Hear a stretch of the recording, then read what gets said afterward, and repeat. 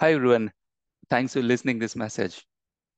In recent times, we got messages that uh, do we have any program, any course where we can go enroll and we will be very much eligible for the job market. What does it means that if you go and check the IT portals, you can see that you have different course packages for CCNA, then CCNP, then firewall, then cloud, then automation, etc. Right?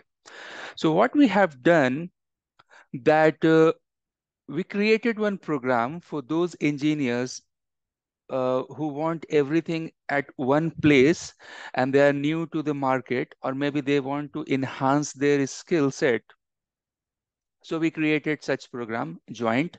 Joint is something like uh, job-oriented internetworking training.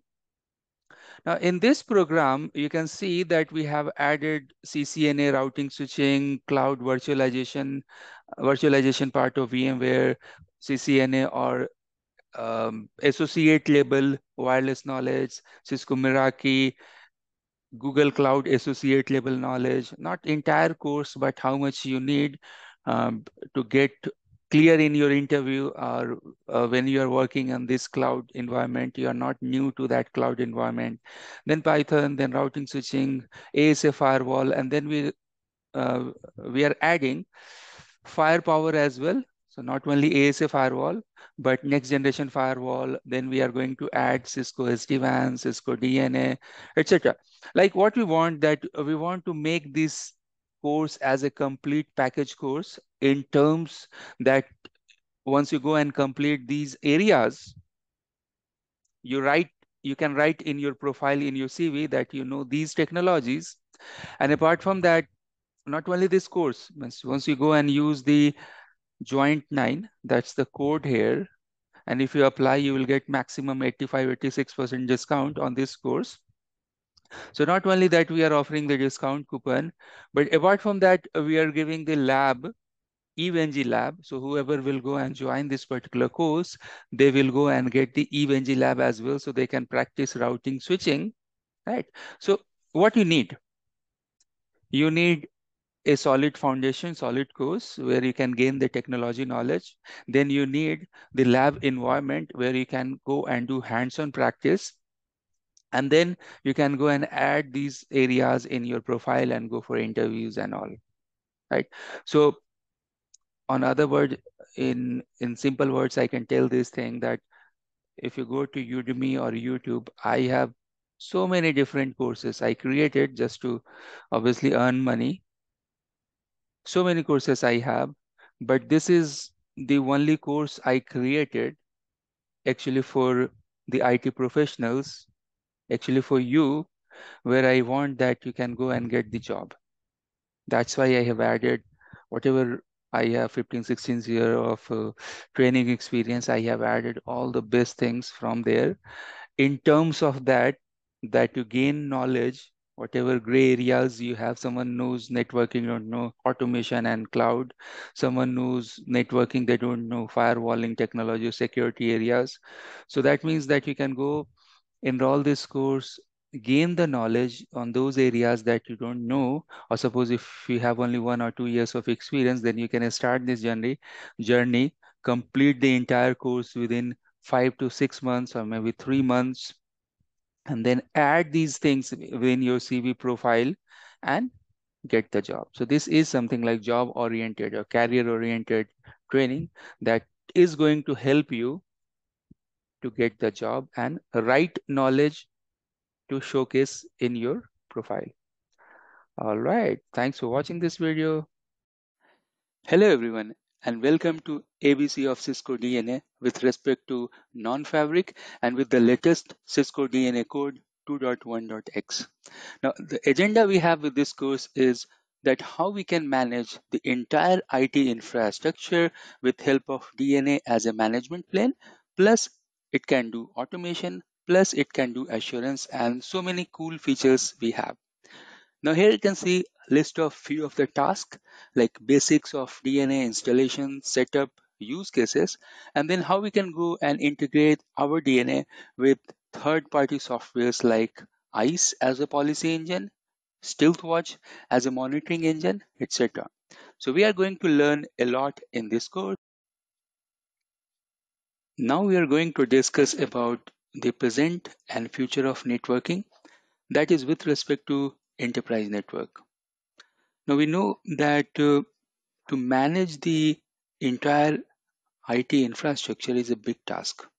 And if you go and check the software life cycle, we'll find that approx 60 to 70% that is the workforce is there dedicated to manage the operation or to run the operation, correct? Now inside that also again, if you go and check how much time it is taking to do some sort of configuration, deployment, troubleshooting, other reporting and other operational steps, you'll find that it's a, a tedious work.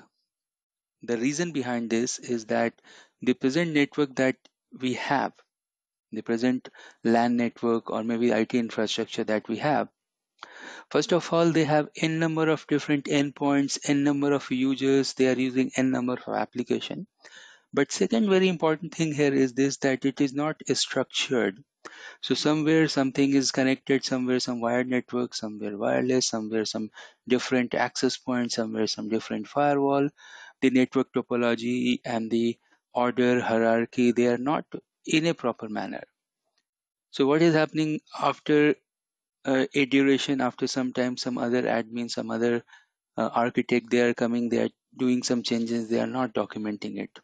And in that same way, we don't have any global vision or we don't have any any any type of tool that can give us what is happening in the underlay so if someone has done some major change is still we are depending upon excel sheet or still we are de depending upon the network admin feedback correct? Some sites remote sites are managed by some vendor or some third party support and what they are doing company they are for them it's very difficult to find out because they are not handling those document or hand over those documents properly.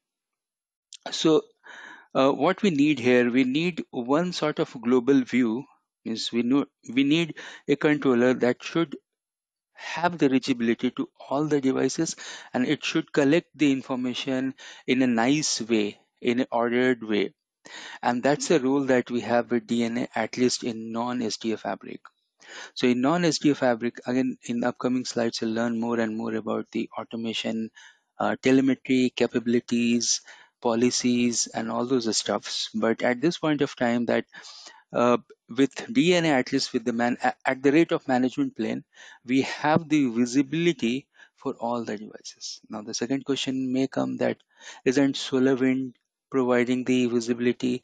Isn't SolarWind is or like SolarWind type of tool, they are giving all these stuffs. The answer is yeah, they are good management platform, but is still uh, the capability of DNA is at this at this point of time is like unlimited. That means that not only you can manage your wired wireless infrastructure, your routing uh, stuffs, your IoT stuffs, your network function virtualization, but you can enforce policy, you can enforce configuration, you can segment them. There are so many good things that we can't even imagine with the uh, existing management tools that we have. So management tool, they can do only management, but with help of DNA, we can push the policies, uh, we can do the automation, we have full assurance capability, those new capabilities that is coming with DNA. Now in this diagram, you can see that suppose if you don't have managed network, then it's very difficult to hard, uh, difficult to manage. And for user perspective, how users they are seeing, they are seeing that in between they have some network, but users what they want, they want to access the application. So as long as they are able to access the application in between, it is managed by via uh, DNA or any other vendor, they are not cared but the point here with respect to network admin or network operation team, we should track down what applications these users are using if they have problem how to tackle this how to remediate as soon as uh, possible. If any attack will come then how we can go and check at which particular endpoint the attack has started and all those stuff these things will be possible only if we have full visibility and then you are monitoring the entire traffic and now you can see the volume that as increased capability of the devices end users bandwidth uh, enhancement it's very difficult to track all the application because it is in maybe it is in terabits how you can scan all the terabits of uh, uh, traffic every day correct so volume will come into the picture, the scalability will come into the picture, and that's why you need one giant type of box, one giant management uh, platform, one giant policy plane, etc., who can have who have the information of all of these. So you can see that the problem with the uh, existing network is difficult to segment different segments and again uh, if you're segmenting as well with respect to vrf or vlan it's difficult to manage because we don't have manage manageability. We are losing the control after maybe sixth seventh uh, segment. It's complex to manage because you have so many endpoints so many touch points you have wired wireless firewall nfv etc slow resolution because we don't have full visibility. You know generally it is taking two to three hours in in a you know unmanaged network just to find out which location which client what mac. Correct first of all you should know what's the destination what's the source what's the destination what's the mac and then what's the topology diagram and then only you can check the paths and all those things so where exactly the issue is happening. Just to figure out the basic stuff is taking four to five to six hours. Sometimes you're sending emails remote sessions happens. It take too much time and again if you want to do some packet capture you need extra effort for that it's too much time consuming uh, with the existing network but but with help of global view that dna is giving and dna has capability that they have the analytics automation visualization and they are ready for either virtual or physical you know infrastructure they have inbuilt security etc so the point here is this that uh, with the global software which has the visibility to all the devices from there you can easily track down the source destination client which applications they are using uh, what's the topology diagram how it how it look like in visual sense. You know each and everything you can uh, take from there and then if you want to do SSH, if you want to run some commands, first of all, uh, Cisco DNA itself is giving suggestions. Do a step one, a step two, a step three, a step four.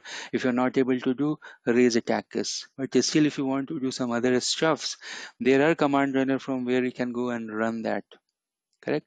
So you can see the inbuilt capability of dna is that it is intended is learning it's learning the context with help of ISE the policy engine from where it is getting the informations and then it has the inbuilt security. It has the insights and it is reaching the business goals because again we'll see in upcoming sections that it is integrated with it management tools. So this is the problem the high level problem we have with the existing network and the solution that DNA is giving that um, it has the context. So it has the contextual information who, what, when, where, how. Who has done that? So it is integrated. Uh, it can be integrated with Cisco ISE, Cisco Umbrella, Cisco Stealthwatch, and others as well. But at least these three will give you the complete picture of, uh, we can say that, life of packet power by intent yeah. It has so many intent based capabilities. So translate business intent to network policy automate and uh, automate the management and the provisioning millions of devices uh, at it instantaneously yeah that's right. So you can create a template and with that automated template you can push the template to hundreds and thousands of devices and it will work Driven by knowledge, yeah, it is capable of doing machine learning, it is capable of doing artificial intelligence. So those features are there in the modern uh, networking management plus control plane plus policy plane type of infrastructure from where we can go and uh, manage the entire IT infrastructure. In last section, we have discussed about the problem, but we have the solution in hand in terms of Cisco DNA Center. Now with Cisco DNA Center, we can do central management. With Cisco DNA Center, we can do policy, provisioning, design, assurance, and then we have the tools where we have multiple options to do the discovery, to check the topology and others. Apart from that, Cisco is keep adding new and new features inside Cisco DNA to make the present infrastructure visible to all and do all operation related tasks. So we have the list here that Cisco DNA can do complete network management system. It is a obviously it is a single pane of glass at this point of time we can think as a uh, for complete wired uh, for complete wired and wireless network or complete IT infrastructure except WAN and uh, data center but there are adapters or plugin that we can integrate Cisco DNA with SD-WAN and ACI as well. So in that case, if we go and do the integration, in that case, my DNA will become single source of truth, single pane of glass for complete IT infrastructure. We can do automation and provisioning. It is supporting zero touch deployment, complete device lifecycle means we can uh, create uh, RMA we can do the image management. We can do the configuration management. We can do the automation. Each and everything is possible with dna then we have the analytics and assurance. One nice part i uh, part i like about dna is that complete wireless piece is automated in terms of telemetry so what does it mean it means that once you go and discover the wlc all the APs associated with that WLC will get automatically discovered and the telemetry feature is on by default. Now in the initial version, of, still we have to go and enable the telemetry for the wired network. But in the new feature set, in the new version like 2.1.x, those telemetry sessions are enabled for wired and wireless as well. So we are not worried at the moment my DNA will discover the IT infrastructure. It, it has the visibility, it has the assurance feature inside that automatically it is start collecting the data. Now once you have the telemetry, that means it will reduce the total troubleshooting time. And that's true. Then DNA has true integration. So it is supporting API and third party solution. It is supporting the integration with ITSM and it is open for future enhancements as well. So here you can see in terms of IT and network system process, we can integrate with ITSM, IPAM, reporting, ITSM analytic. It can be integrated with Tableau for reporting. It can be integrated with LiveAction, etc.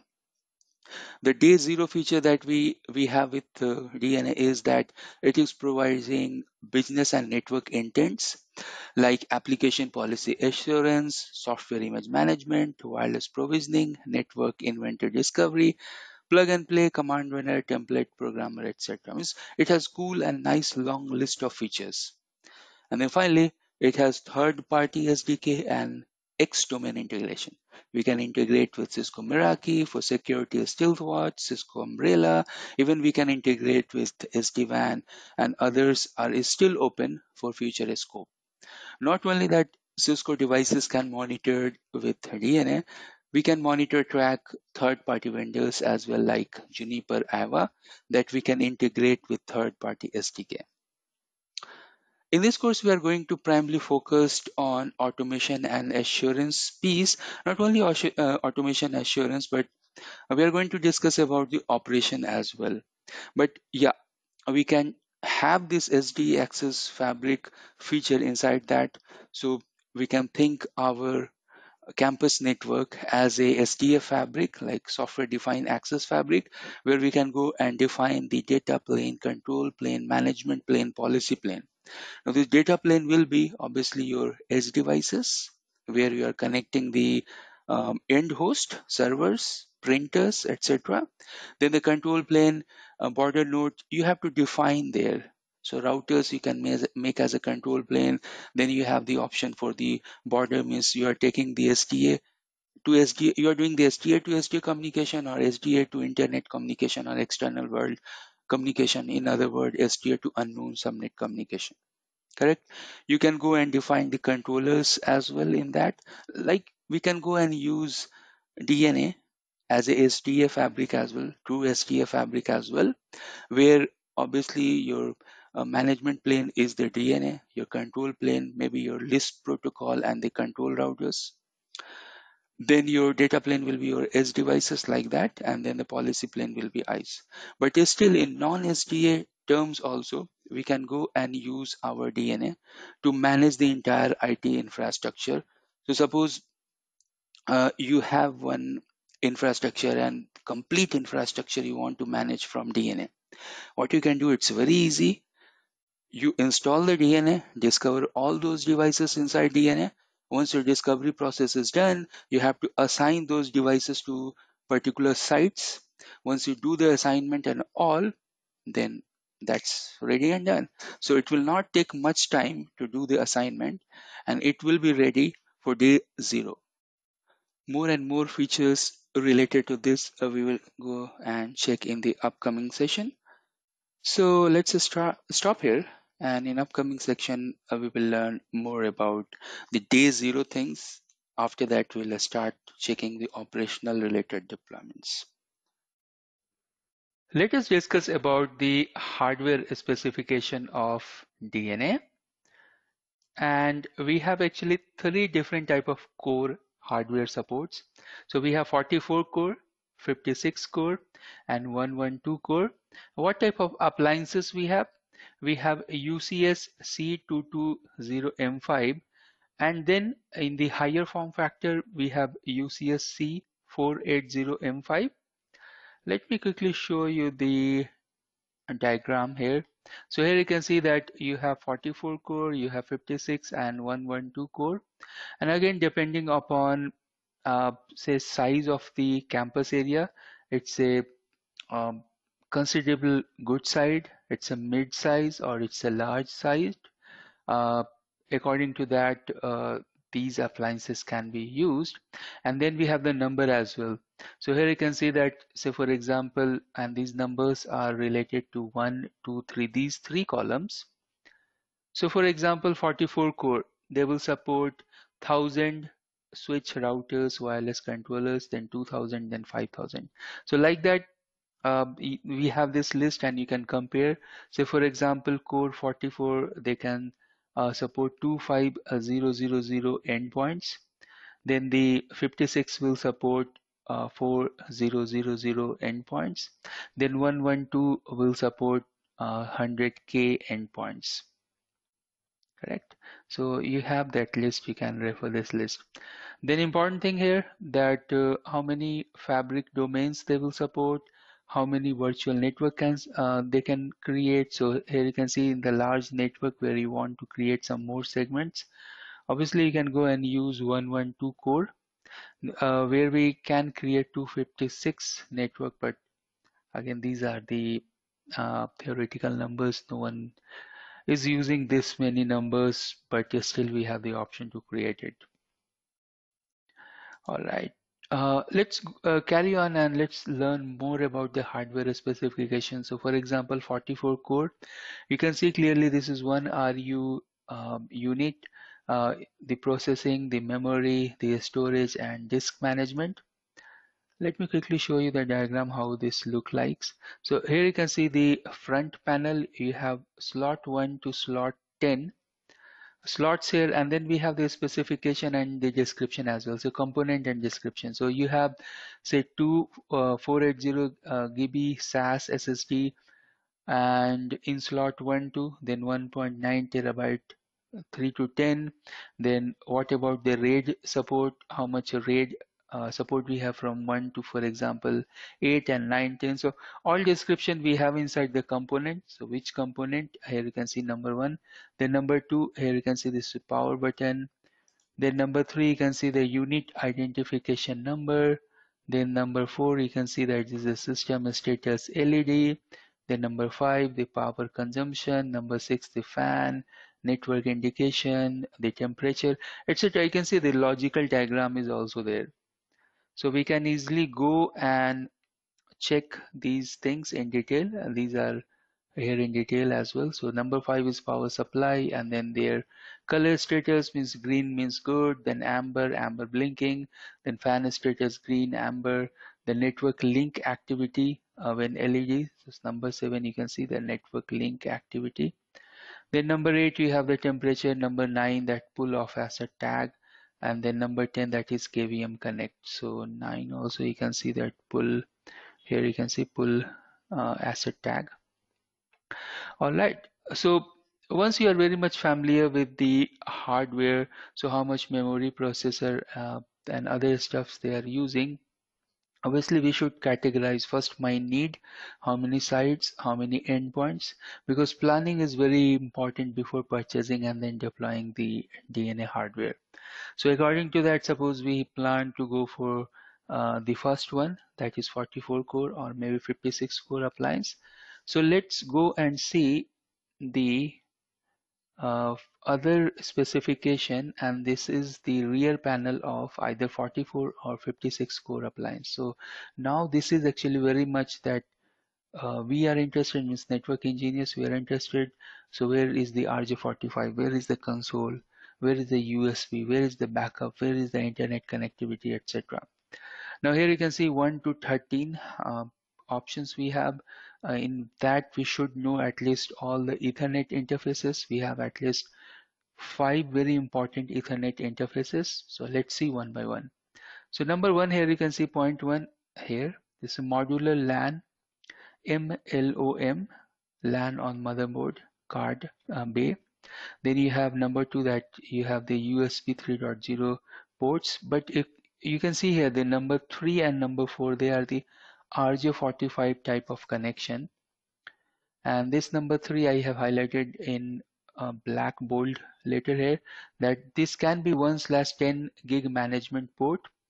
This network adapter 1 in the Maglev that's the operating system we have Maglev configuration we are connect this port to a switch that provide access to a enterprise network management. Remember we'll see later on we have list and when I'll uh, I'm going to show you that what are the installation state what are the options that we need to choose. So at that time you'll clearly understand that why ex exactly we need these many different type of interfaces. So this interface either 1 slash 10 gig interface that's the first interface we have uh, RJ45 type of interface that will be used for the management enterprise network then here you can see that you have four point number four here this place.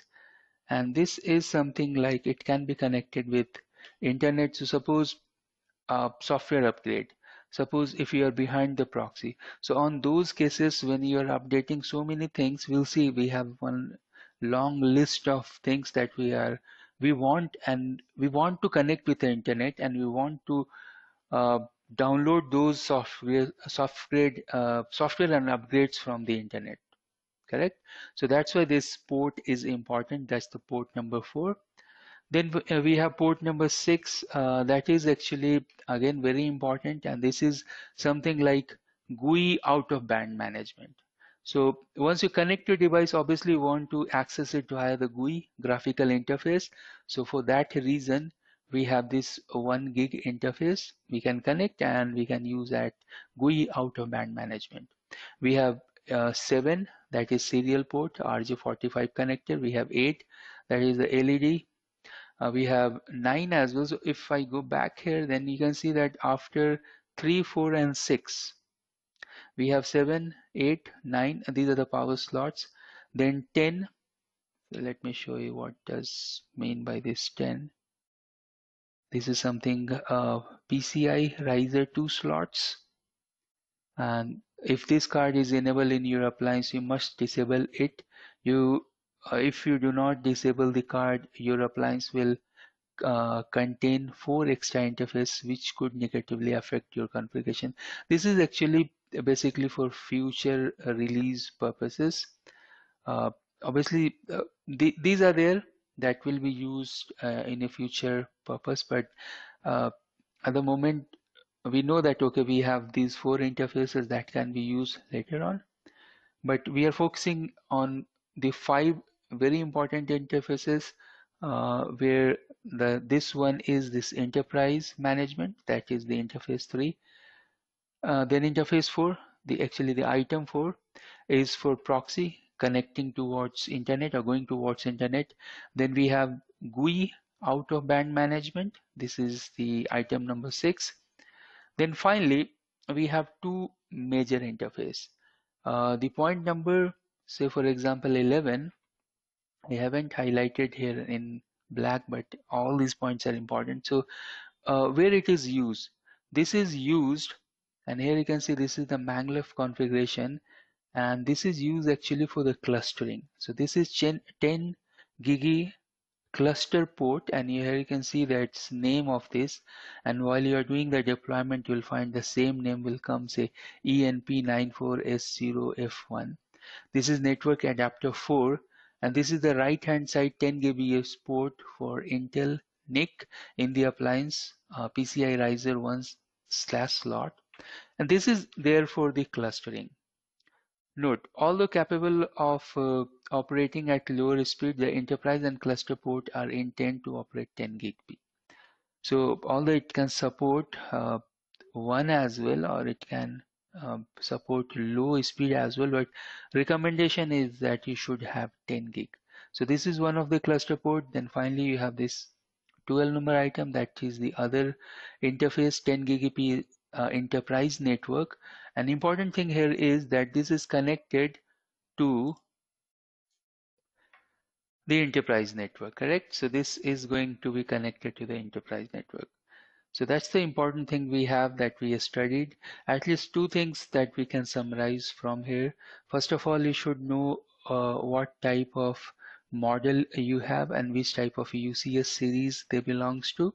Then in terms of uh, how many devices, concurrent sessions, endpoints, etc., etc. Those lists are here. Then finally, we can go and check find uh, means which interfaces, which uh, RJ45 interfaces we are going to use as a management interface, as a intercluster link, as an enterprise network, as a out-of-band GUI management, etc. So those things are very, very important here uh, Uh, to understand the hardware specification of this M5 DNA appliances. In this section, we are going to talk about pre-installation plan. So you're going to install the DNA and what are the things that you want to check? What will be your checklist? So let's see that what checklist we have. Actually, we have three prerequisite. We should have these three things before going for actual installation. So here you can see it is listed step by step.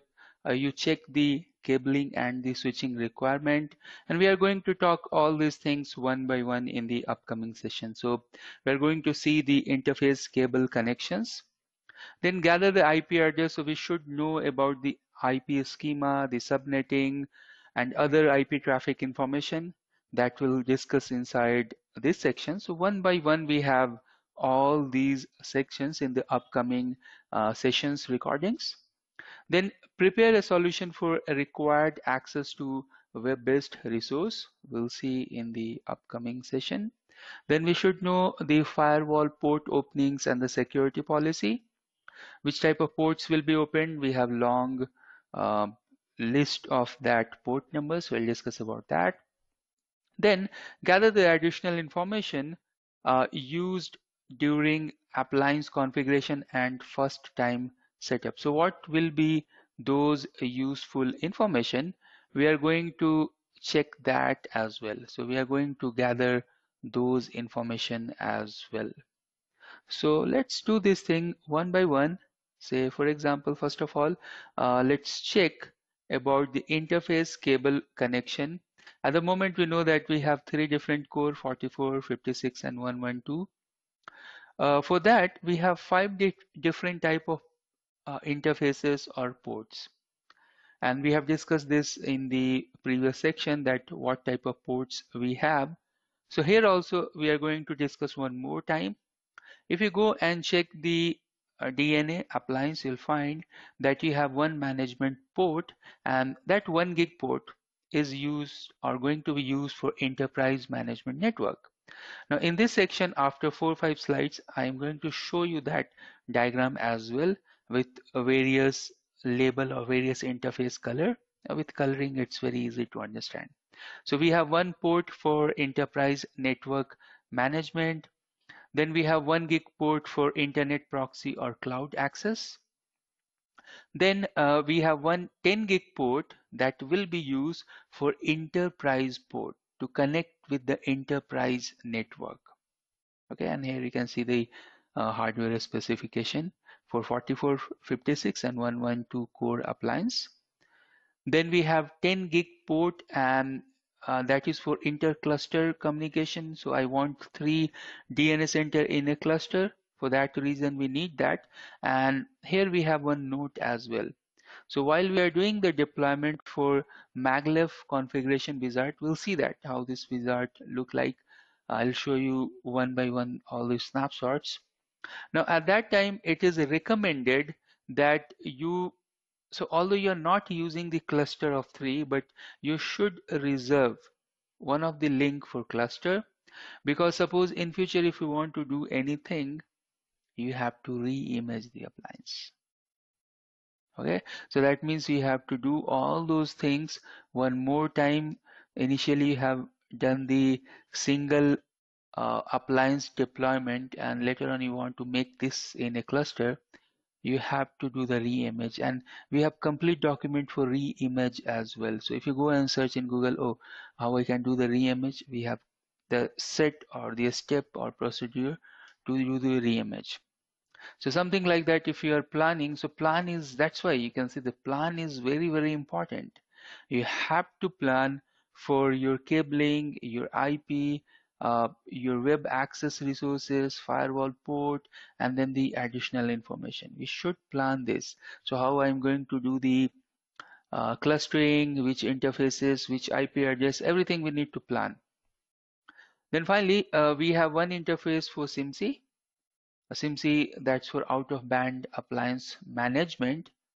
And that's the reason we have one port. And the, these are the options. So few of the uh, features we have seen those are optional. Few of the features we have seen that those are must because that should be there.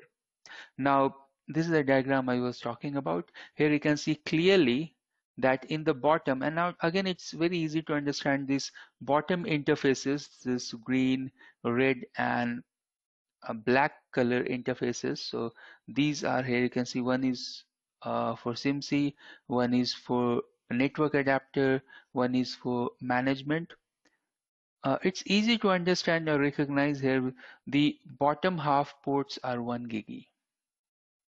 We can refer like that, that they are 1 slash 10 gigi. So you can see this red one is 1 gig, but the others we have option 1 slash 10 gig, but the top half is 10 gigi, 10 gigi. So one is used for enterprise port, one is used for cluster port. Correct? So in that way, actually, we can understand that. Now, if you go and check the interfaces related to 112 core, so at that time you will find the difference. So let me quickly show you here. And here, uh, uh, here you can see that uh, you have the interfaces 1 gig 1 gig or 1 slash 10 gig. And these three interfaces on here in between. You can see I have one uh, enterprise port and then I have one cluster 10 gig port. Okay? So uh, these are the way that we should go and check and uh, understand that how you are going to do the cabling. Likewise we have three node uh, DNA as well. So let's break this session in two part let's stop here and in the next session we'll go and learn about three node deployment as well. Three node Cisco DNA and uh, what are the IP we need? Uh, that is the prerequisite. So let's discuss that. Now when we are talking about three node architecture or uh, we have different appliances and we want to convert inside a cluster. So at that time you can see the diagram it's actually clear here that I have three appliances and these three appliances including one of the cluster link that we have. So here you can see that you have your cluster port that is nothing but the network adapter 4 that is the enterprise uh, 94SF1. So this cluster port everywhere you can see cluster port we have and in this way we are creating the clustering of the appliances or various appliances. Apart from that all the interfaces here you can see clearly going to the switch and switch is nothing but the representation of one of the network. So since all these colors and marking that you're seeing here going to one of the segment or one of the switch, uh, that's why it is recommended that we should use non-overlapping IP addresses. So we should assign the IP addresses to all these interfaces that should be uh, independent and that should not overlap. If there is any overlap, then even in the installation process, it will not be successful. Now in case of a 122 core, you can see the diagram and the interfaces and you can see the clusters here. So this is the way that uh, we should do the clustering of three appliances, three DNA appliances. Now what are the interfaces are used? Here we have the interfaces to NX cable for reference. So what 10 gig SFP we are going to use. Uh, you can take this, but you can check this particular slide and make a note. So far we have a study that we have four main interfaces. We have 10 gig and 10 gig enterprise cluster port. Then we have 1 gig and 1 gig. So 1 slash 10 gig option for management and cloud portal. And then we have SIMC as well. Uh, here you can see that required mandatory, required mandatory, but other are optional but strongly recommended. So in, in terms of IP address that you need, one IP address with subnet, one IP address with subnet, one IP address with subnet, one IP address with subnet, and for SIMC also you should have one IP address and the subnet. And in the next slide, I will discuss that in that particular subnet, what should be the CIDR that we are looking for.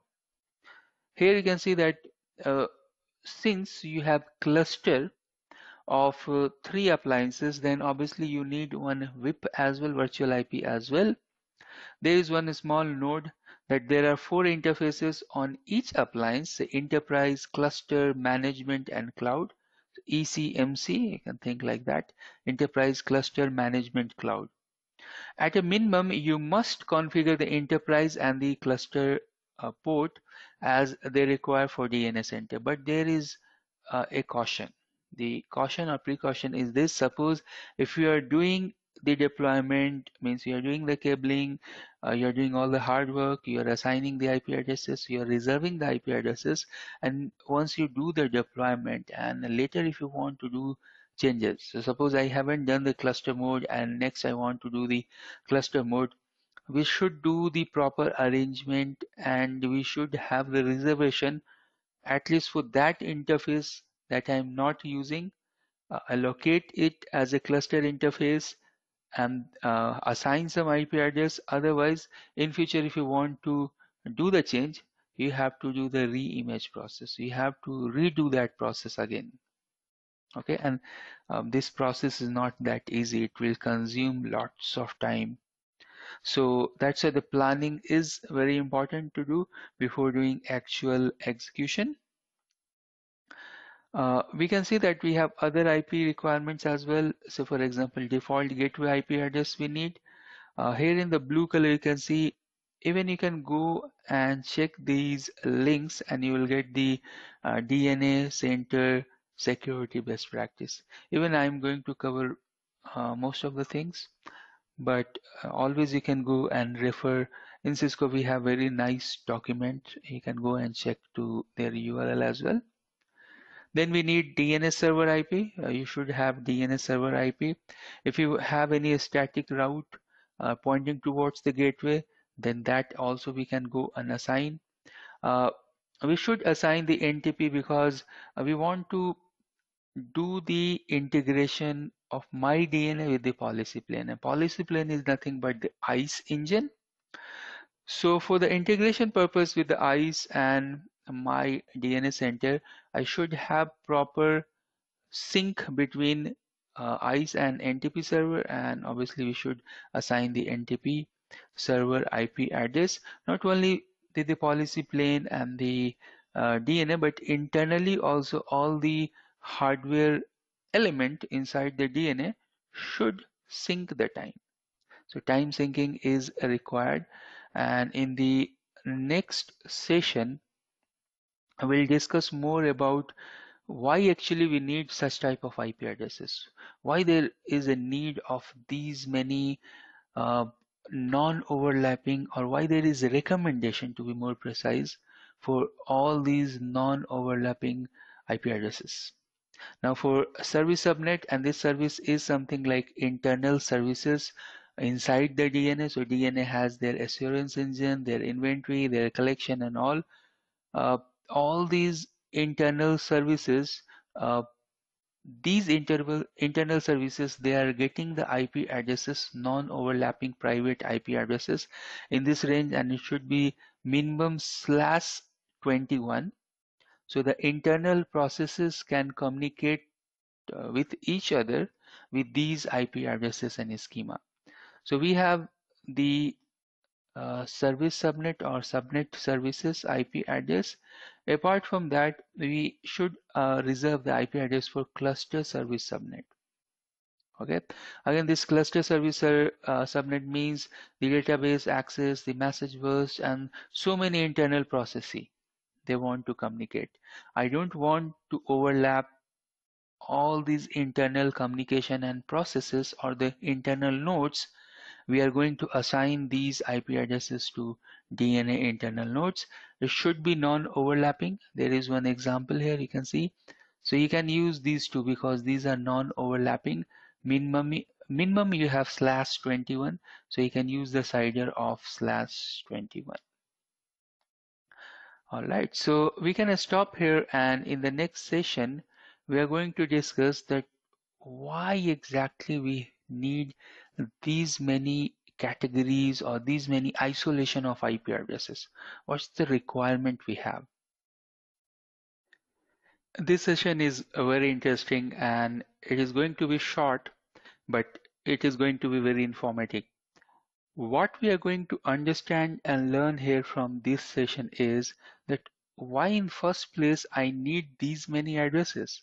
Why, why I need these many address space? And the answer is that if we see the internal architecture of DNA, and for that, I should recommend you that you please go and search uh, Kubernetes-based services containerization. Uh, let me quickly go and open this link. Uh, simply you can copy and paste in the Google. Even the URL is also, so once I post this document, you can uh, use this. But let me open this particular document. So I opened this particular link and uh, this is Kubernetes link cluster networking.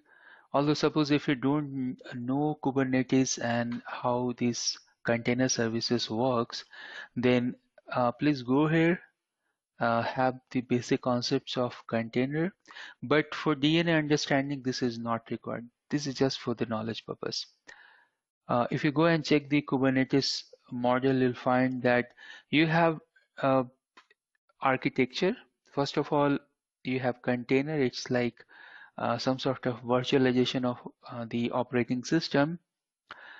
In this particular architecture, we have different type of nodes. So we have you have so many internal nodes, and these nodes, the intercommunication uh, across these nodes are IP based. So all these nodes uh, having certain certain IP addresses and according to those IP addresses they use to communicate to each other. Uh, that's the uh, very top overview of uh, Kubernetes and here you can see this is say traditional deployment, virtualized deployment where you have hardware operating system hypervisor, different different guest operating system in Kubernetes. You have hardware operating system and then you have some sort of Docker and then you have uh, multiple uh, binary and library and you have containers, containers, binary, binary library. But the behind the scene thing is this that internally all these containers they have the nodes uh, they may have some master nodes as well they may have some backup as well but they are doing the communication in terms of that uh, uh, they are doing some sort of IP communication in between them. And that's the reason we have uh, in DNA architecture as well uh, we have same type of containerization architecture. Okay? And the reason the very reason that's why we have these many IP addresses so here you can see that we have 4096 addresses for the services and the cluster services correct so we have two type of services services and cluster services inter-service communication and the cluster who is doing the communication with various internal services so that's why we have this IP addresses and we don't want to overlap in between these IP addresses. Why? Because the last point here you can see that uh, they will maintain the system performance. Why they will maintain the system performance? Because if you have non-overlapping traffic, then they will do not uh, do some sort of inter VRF communication. That means they will not encapsulate decapsulate the packets. They do not have recirculation inside the nodes. They have their individual space. According to that, they can communicate. Correct.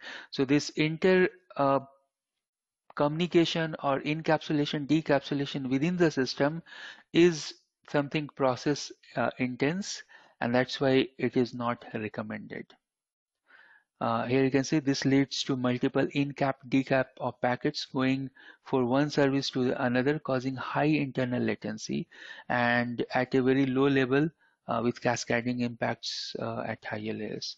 It is very much abstracted or uh, influenced from the Kubernetes based service containerization uh, architecture. Uh, and then currently Cisco model, here you can see that Cisco DNA is supporting, say for example, 100 services, but uh, Cisco is telling that in future there may be so many services can be added. That's why just for the protection mechanism, they are giving a big address range to be reserved. Correct? Then the final piece of this, obviously the point number one is telling that uh, you have some reserved space that can be used in future or filled in the future. Now these service support over these subnets are L3 based. So this is again taken from the Kubernetes and that is also L3 based. Uh, we have the RFC 1918 and 6598 requirement uh, because of the requirement by Cisco DNA Center to download the package from the cloud. So remember we have one cloud interface so from Cisco, all those packages can be downloaded and that's why we have non-overlapping addresses uh, uh, taken from RFC 1918 and 6598. If the selected IP ad range do not conform with RFC 1918 and 6598, this can quickly lead to problem with uh, public IP overlaps, overlaps, correct?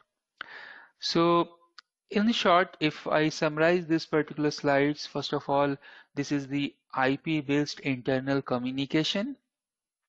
There are some uh, hundred services that is enabled at the moment, but in future we may have more services. So that's why we have one big chunk of addresses that is free.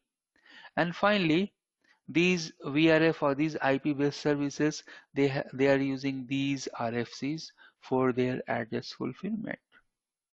Okay, so this is actually very important and I hope that you understand this particular session.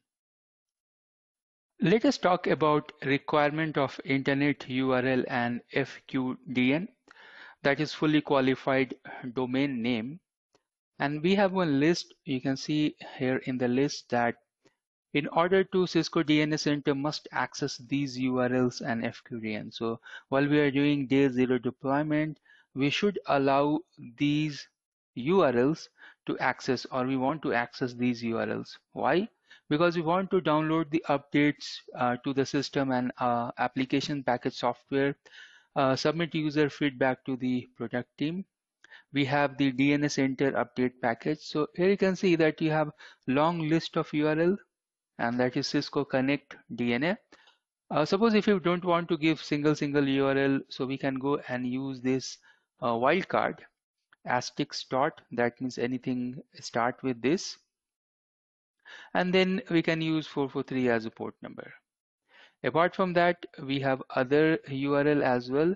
So for smart account and swim software download, these are the URL user feedback, then integrate DNA with Cisco Meraki.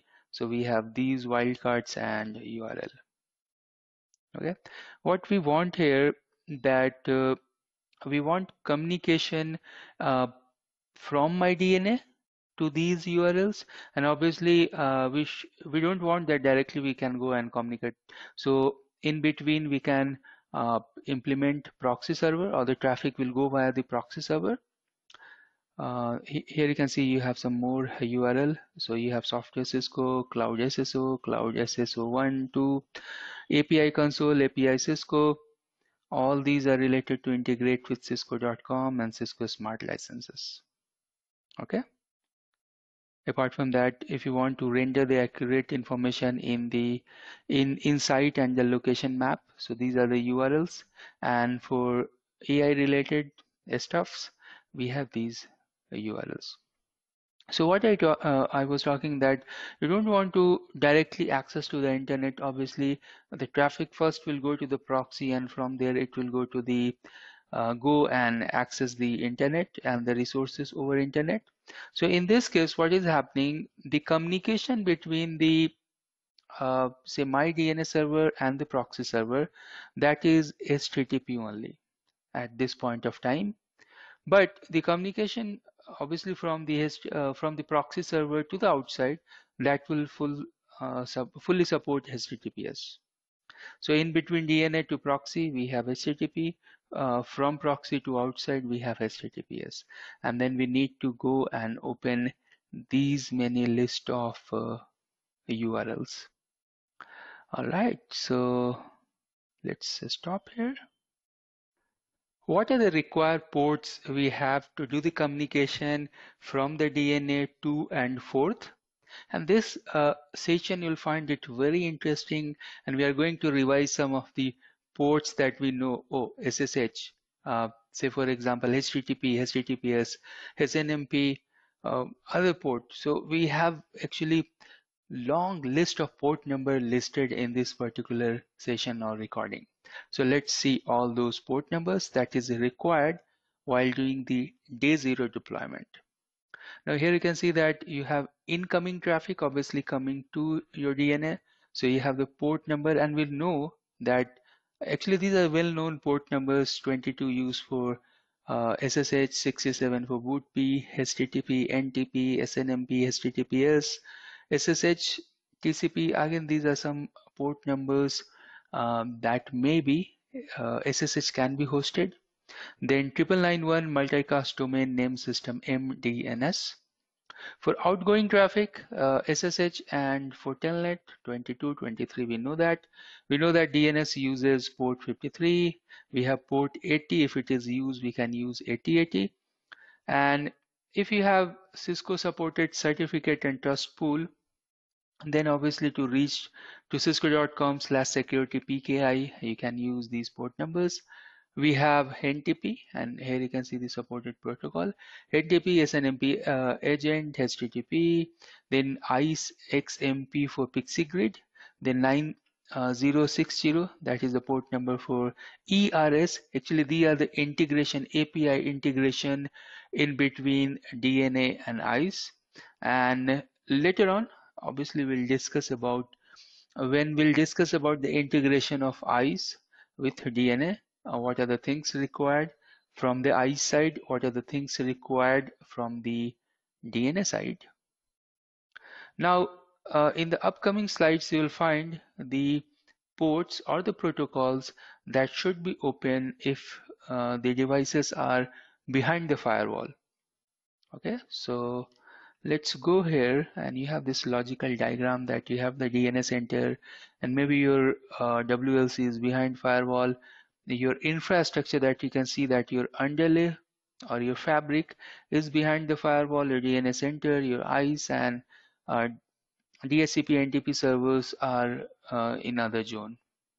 So in that case, you can see here, what's your source, what's your destination, what's your port number, what's your destination, uh, and then the description. Now these uh, important slides that you can even pause the recording and you can check. So for example, any to Cisco DNA, uh, obviously UDP53 is for DNS server. So the uh, description is from DNA center to DNS server. Likewise, for example, ICMP, DNA center, ICMP, uh, wireless controllers from DNA center to WLC. DNA center, so from any, the source is any to DNA center, port 80 and 443, that's for AP, and you can see the description. So in the destination, you can see that you have DNS server, you have fabric underlay behind the firewall, you have NTP server, Cisco wireless controllers, Cisco AP, DNA centers. Then uh, internet connectivity traffic, any to DNA, port 443, uh, why it is used for. So you have the registry dot uh, Cisco Connect DNA.com. Then you have Cisco Connect DNA, registry CDN, CDN Cisco Connect, software.cisco, Cisco Cisco SSO, and here you can see the description as well.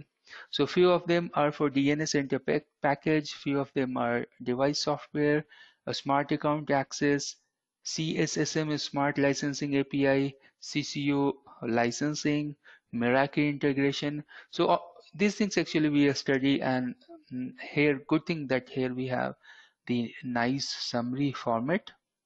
Then this table is for Cisco software defined fabric underlay traffic. What's the source? What's the source port and the source? What's the destination? What's the destination port? And what's the use? So here you can see. So for example, from fabric switch and the router loopback IP to Cisco DNA and plug and play. So for that, these directions and the source and destination will be used. Uh, same line you can see. Now here interestingly you can see that we have TCP and UDP port number 4342 that will be for fabric underlay that will be used for LISP encapsulation control message. So here you can see that you have LISP encapsulated control messages and then you have LISP control plane communication. Both are happening at the level of port number 4342. Then here you can see 4789 that is for VXLAN GPO. This is the VXLAN port number 4789. Then you have the well-known radius port number like 1645, 1646, etc. Then you have ports for ISE, uh, care of address, uh, you have NTP, you have wireless controller. So everything should be taken care before doing actual deployment and you have all these things listed here. So obviously uh, you can take the notes from here as well. But yeah, for uh, your deployment, you can make the note from here. So for Cisco wireless controller, here you can see the list of that. So for example, HA server using TCP 1315, that's the DNS server that's for database server HAQS then we have HA database port you can see the well-known port numbers 1316 13 up to 1320 then you have 8082 that is HA web service health monitoring port. Again here also you can see the long list of port number uh, related to CAPWAP tunnel loopback uh, related to SNMP traps related to MSE services. Okay so all these things and finally you have this uh, port number for AP pool uh, for uh, UDP68 and UDP67 for DHCP services.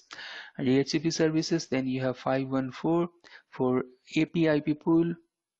Uh, that's obviously this port number belongs to syslog destination uh, messages then you have these port numbers 69 and 5246 and uh, say for example 5248 for wireless controllers for allowing the CAPWAP tunnel. And these port numbers here that you are referring you can go and check the sheet as well. So here also you have the communication between the inside the CAPWAP tunnel from the WLC to AP and that's the reason we have that port.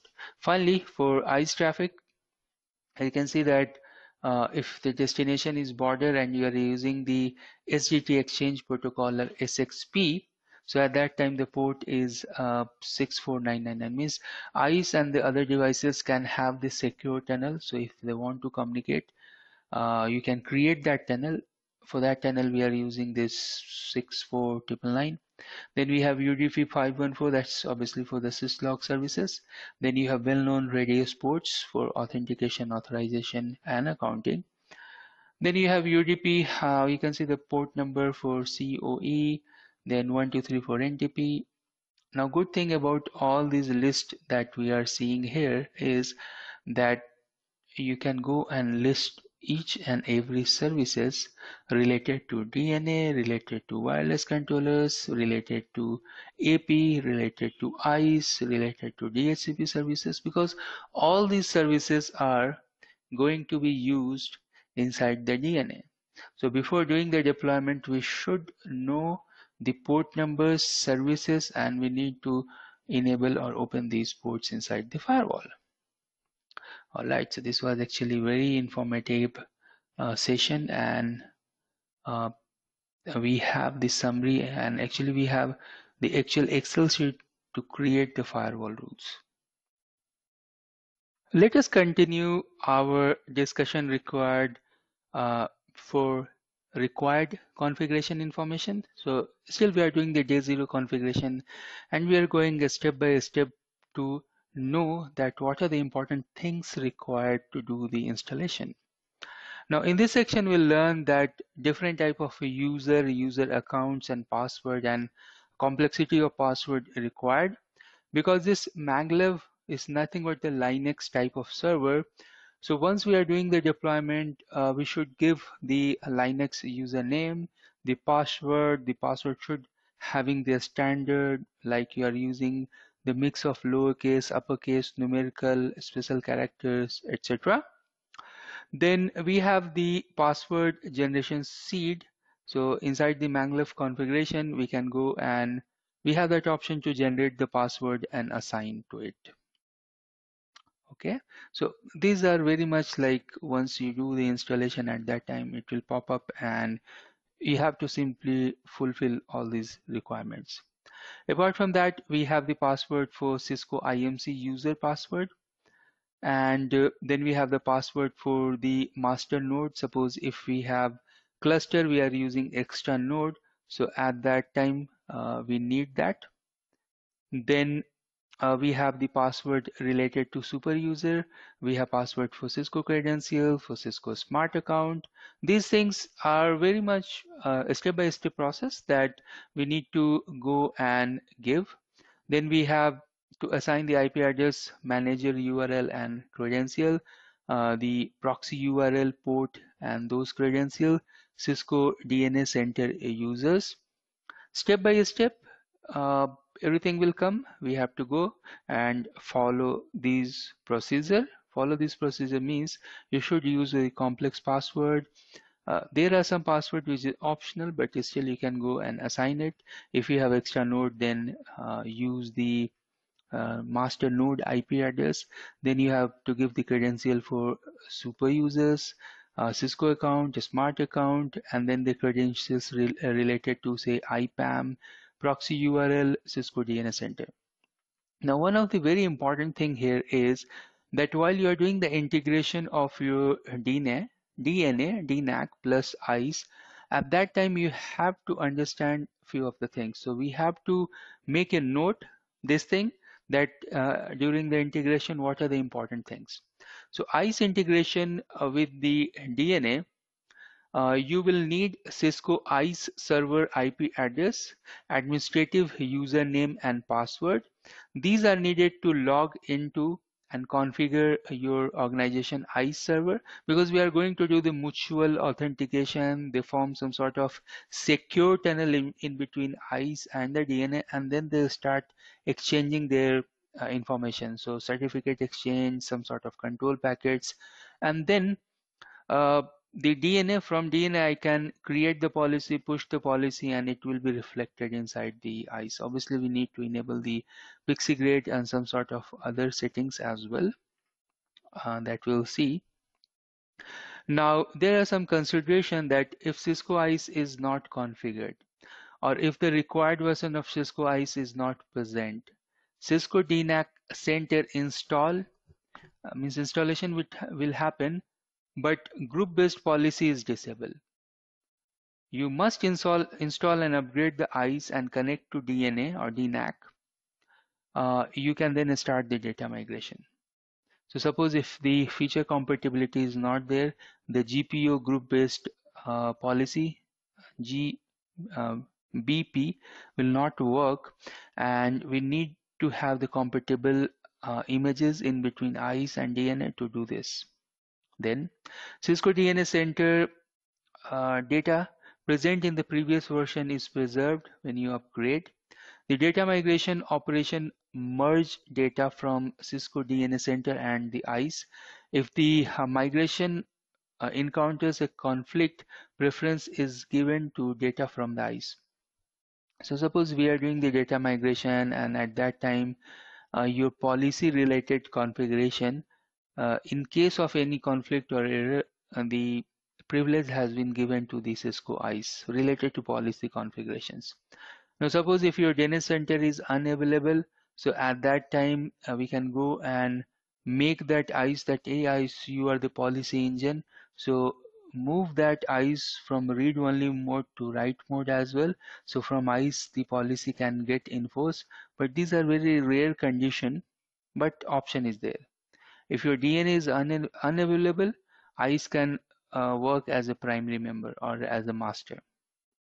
So this allows you to make policy changes directly in Cisco ISE. After Cisco DNA Center is available again, you must disable the read-only override on Cisco ISE and resync the policy data on DNA Center uh, from that uh, group-based access control setting page. Only use this option when absolutely necessary uh, since changes made directly in Cisco ISE are not propagated to DNA. These are the corner rare cases that we need to take care. Uh, we have the authorization and policy service information. We know that ISE is going to do that.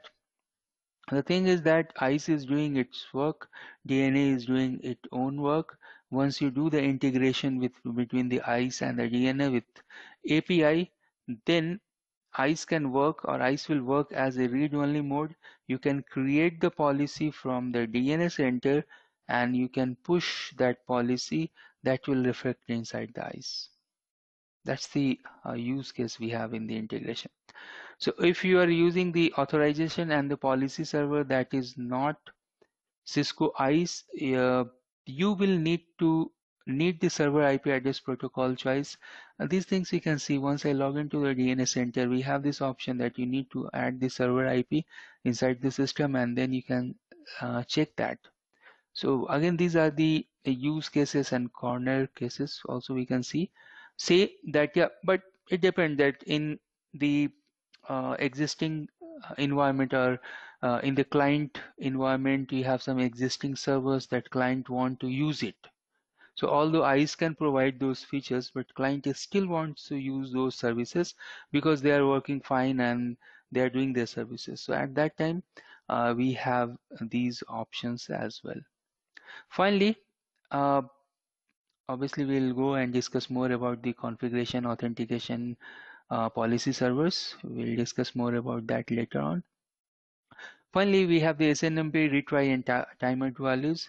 Uh, this also we can discuss later on in the separate section. So whatever blue ones that you are seeing, blue uh, underline these notes, uh, one thing that you can do here that you can go and search this thing in Google as it is as a string. You will get the document, you will get the notes as well.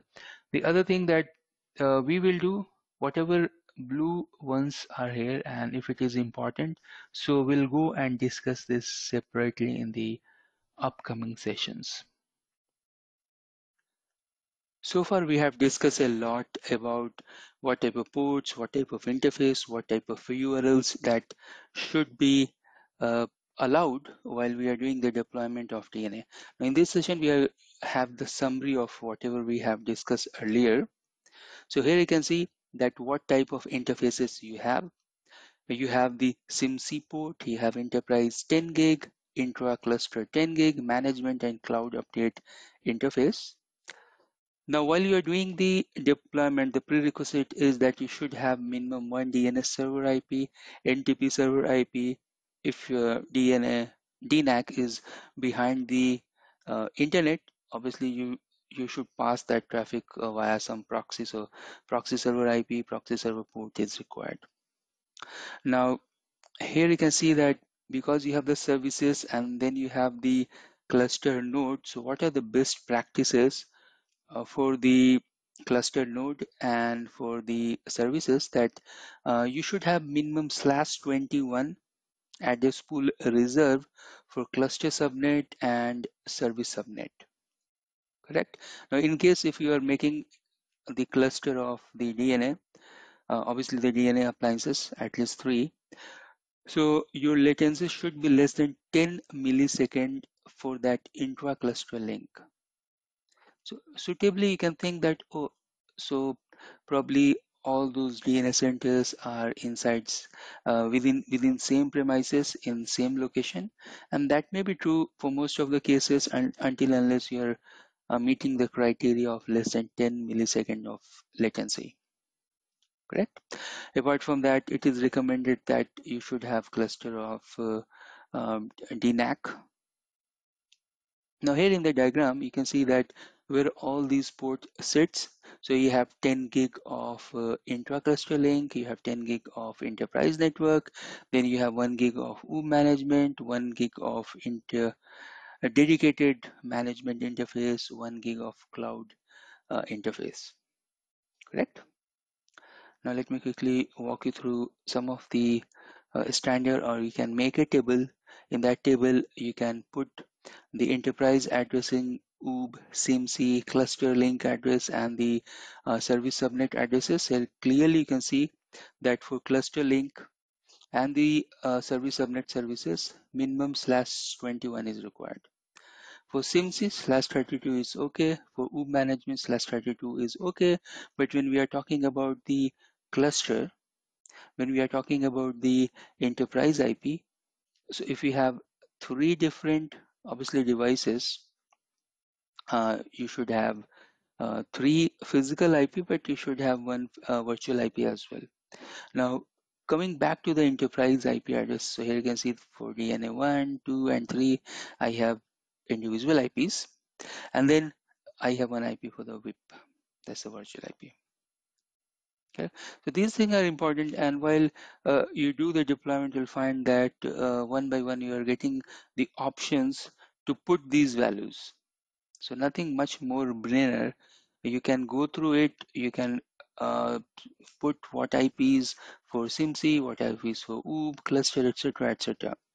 But before doing the actual deployment, we should have list of these IP addresses. Sometimes it's bit difficult to get the free IP in a running infrastructure because uh, most of the uh, organization they have already consumed the IP addresses or maybe uh, one reason don't know that other reason what type of IP addresses they are using until unless we have some centralized uh, IP address management, IPAM or other tool, correct? Great. Uh, you want to pass these URL because few of the URLs for cloud to get the updates from the cloud, few of the URLs to get the packages, SWIM software, etc.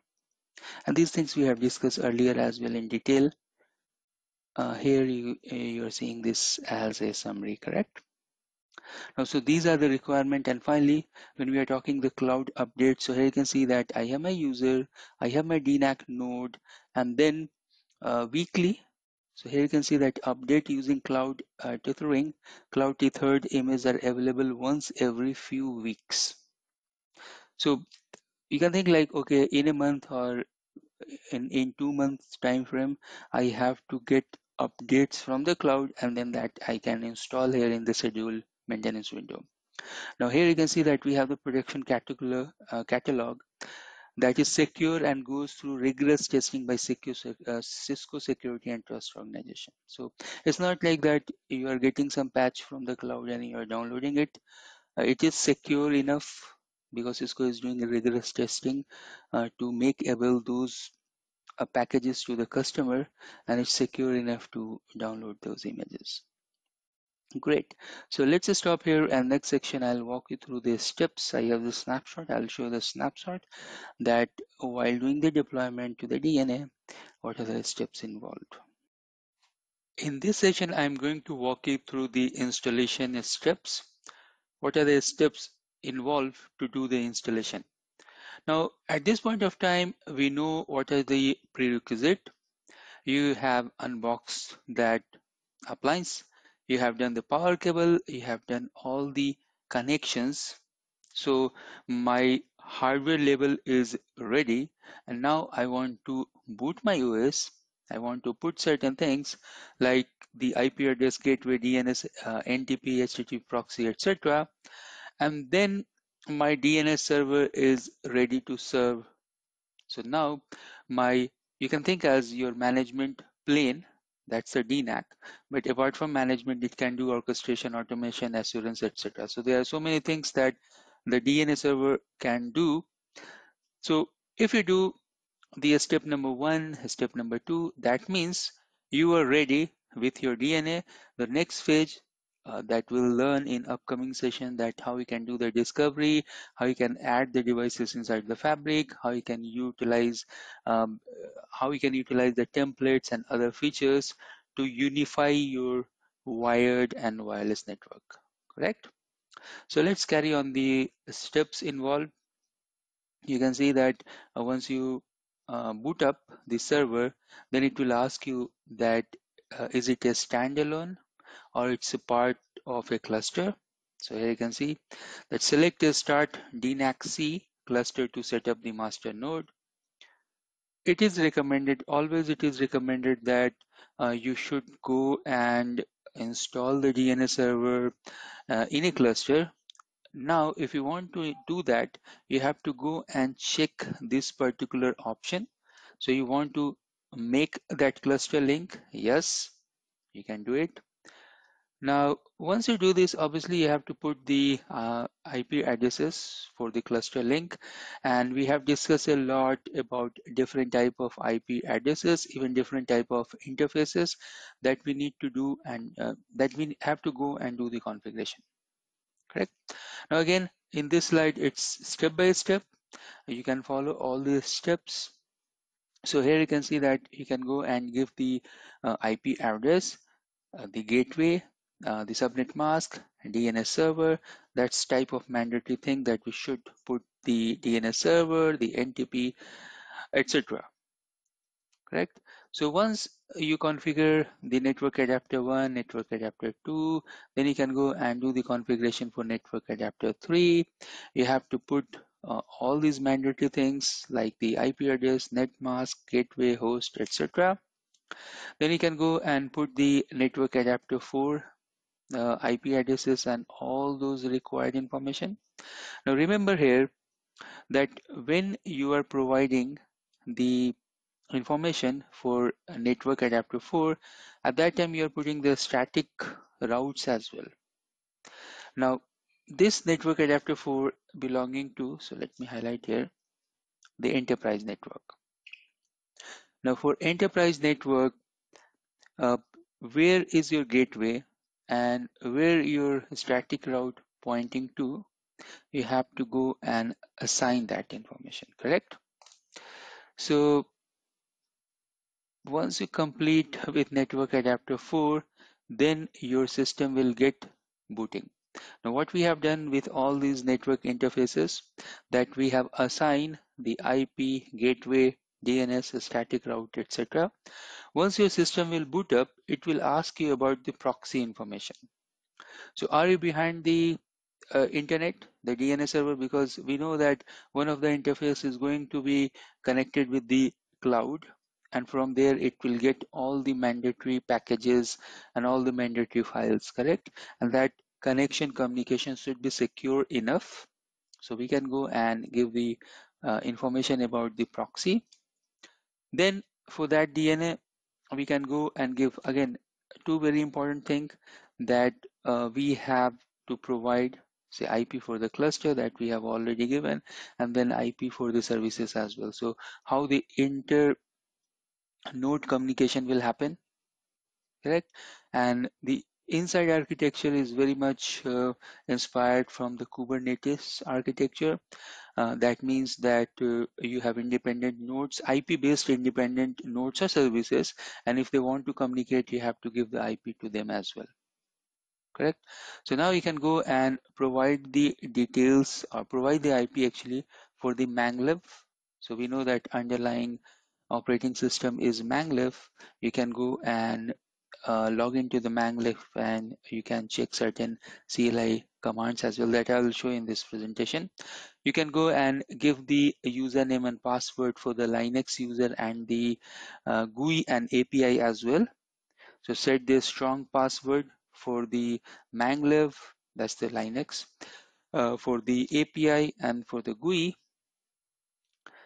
you can go and put the NTP. So it, it is going to do the check for the NTP, reachability with the NTP or not. Again, I told you uh, already that we have services, we have cluster and slash 21 is reserved for that.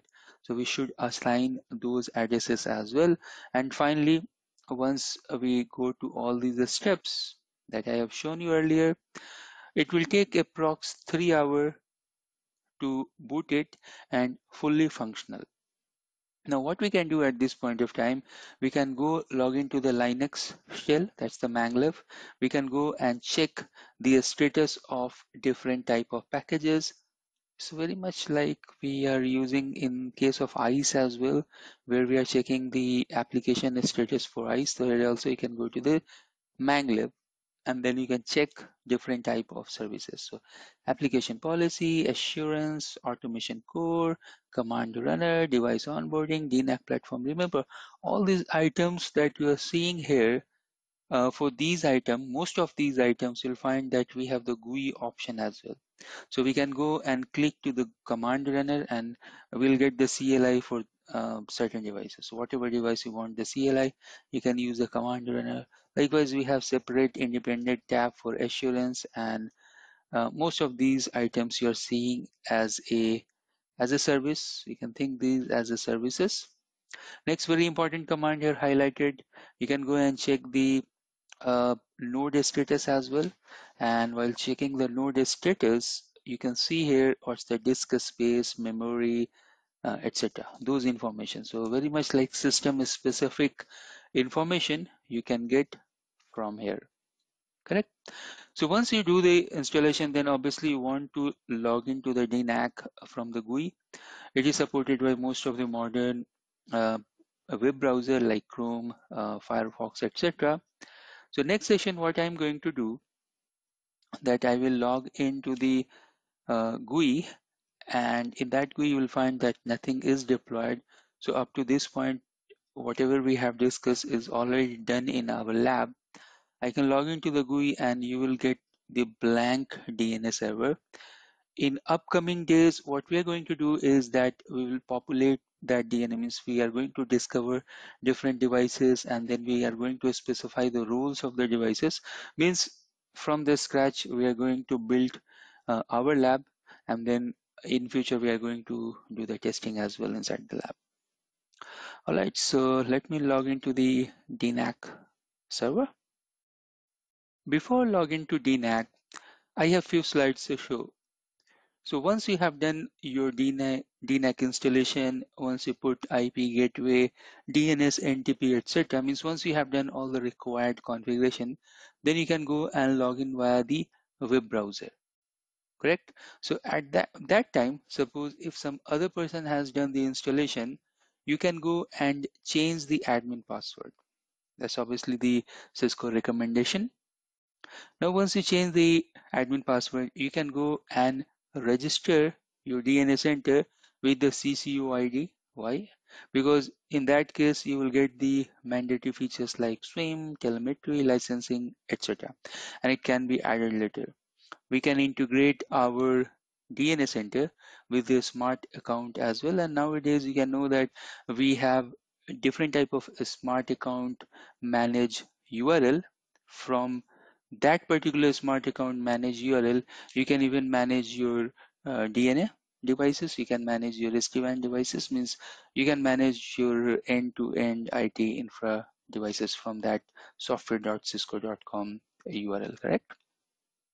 Now, if you are going to integrate your DNA with IPAM, uh, Infoblox, BlueCat, etc. You can go and do it on day zero installation. You can go and integrate with the proxy server as well. So you can you have to uh, provide the proxy server details uh, to do the integration correct?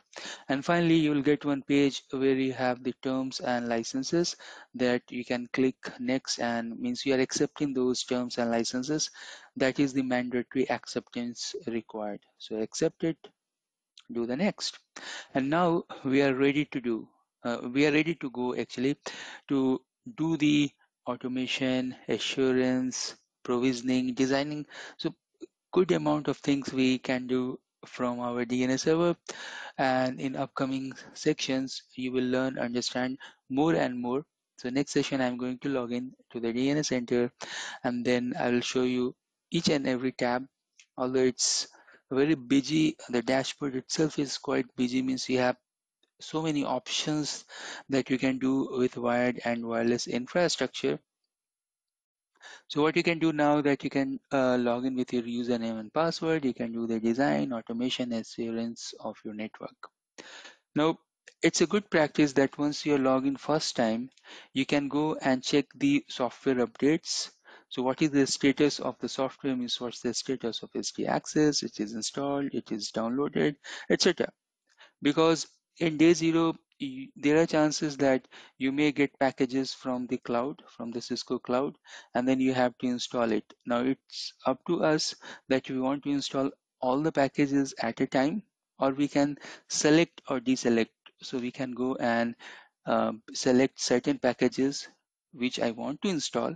So i can go and selectively install that. Otherwise we can do install all as well. And finally we should go to the software update and we should check the system update and we can check the progress for all those updates installation etc all right so let's stop here and in next section i'm going to log in to the dna and i'll show you most of the things in the dashboard. But obviously during the lab uh, during um, the uh, steps that we are going to follow um, related to design obviously the planning provisioning um, assurance etc etc so you will learn the usability of each and every tab. Let me walk you through the DNAC dashboard. This is the new one. Uh, let me log in here. You can go and give the username and the password. Now once you log in then the dashboard will come and in the new dashboard new version dashboard so let me quickly show you that what version is this. This is 2.1.x and now you can see on the top we don't have all those tabs. Those were there in 1.3.x we can go here and you can check the about the API references developer resource contact support etc if you go and click about then it will tell you about this current version. This is 2.1.2.5 and starting from 2.1x you will find that we have separate menu tab. There if you go and click you can see that now it is arranged inside these many options.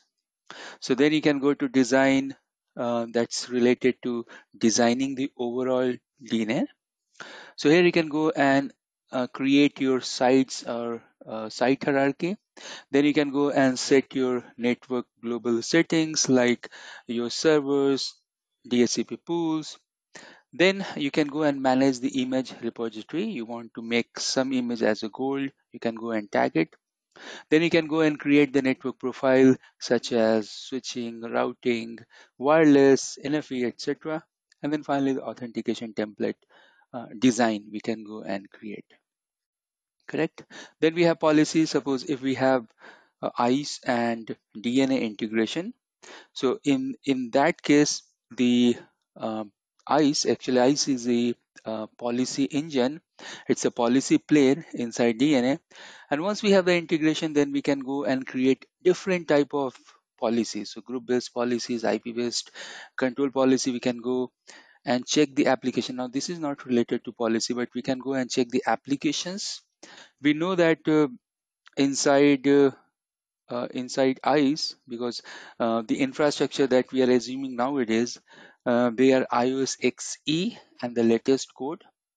With those code, we are assuming that all those devices they are running NBAR network-based application recognition engine, and that can support up to 1400 or 1400 plus applications.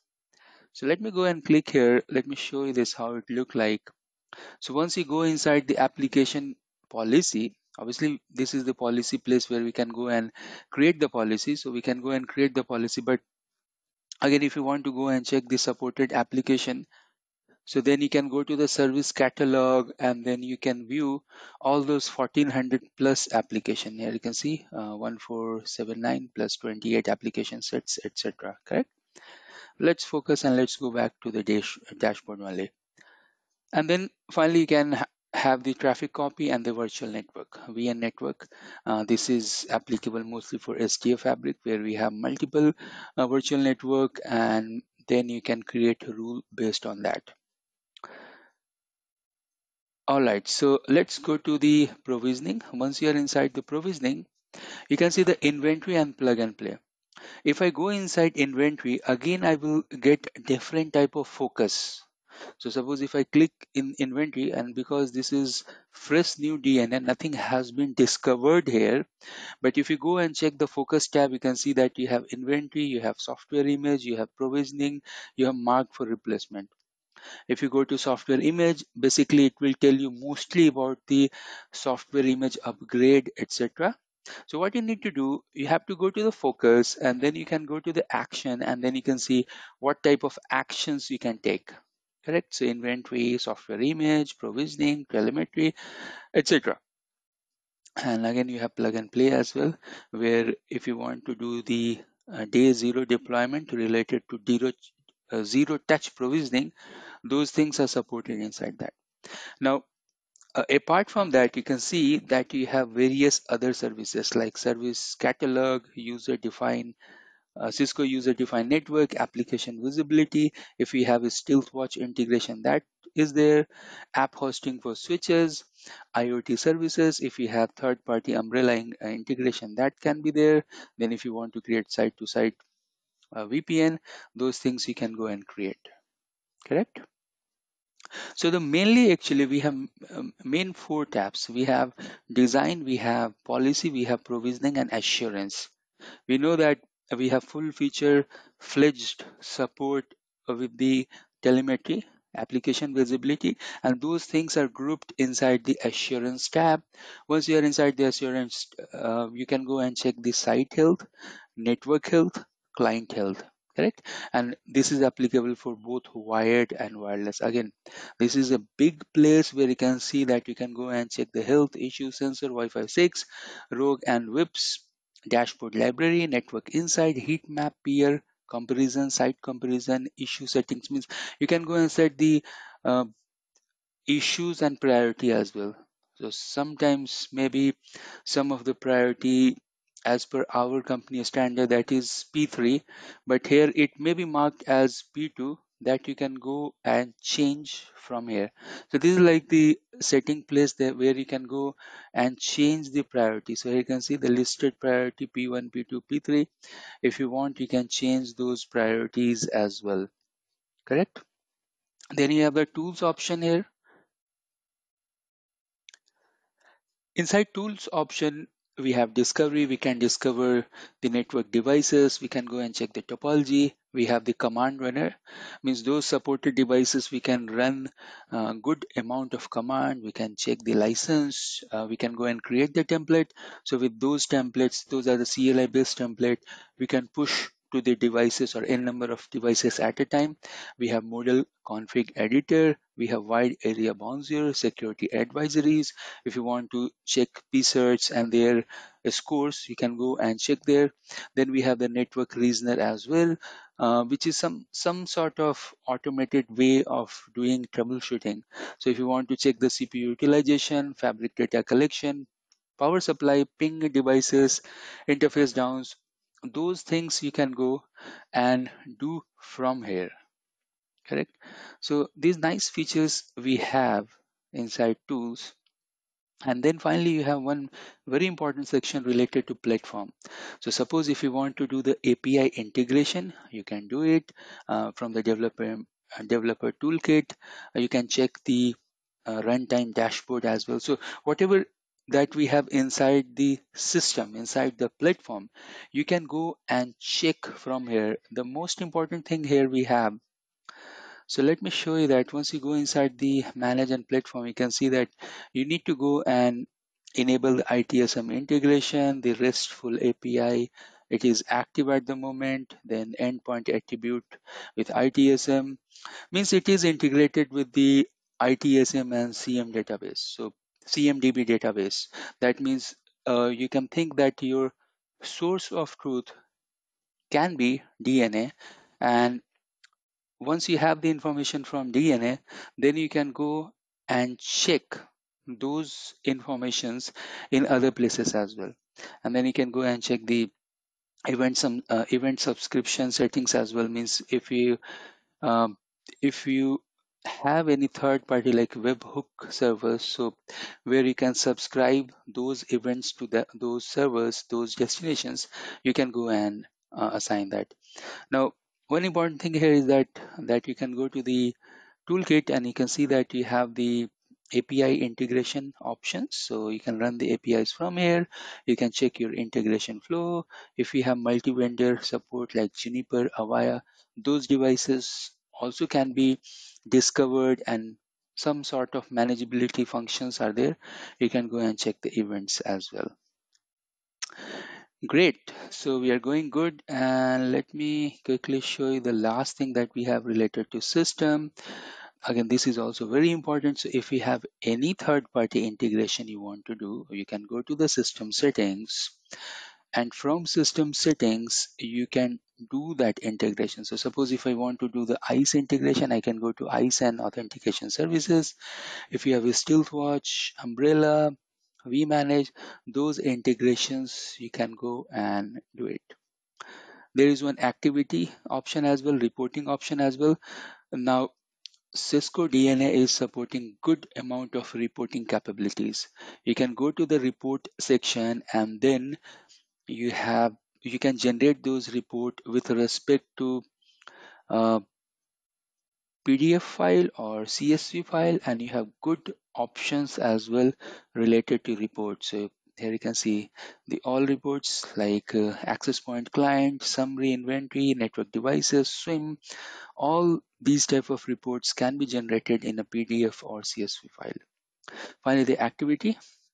So this is for audit purpose and better if you can integrate this activity with the APIs, you can selectively select that particular user and with that user whatever he has done from past one month two month three month all those information you will get from the this place. Again this because this is nothing has been discovered here. This is a blank uh, day zero DNA center so we are not seeing much information here.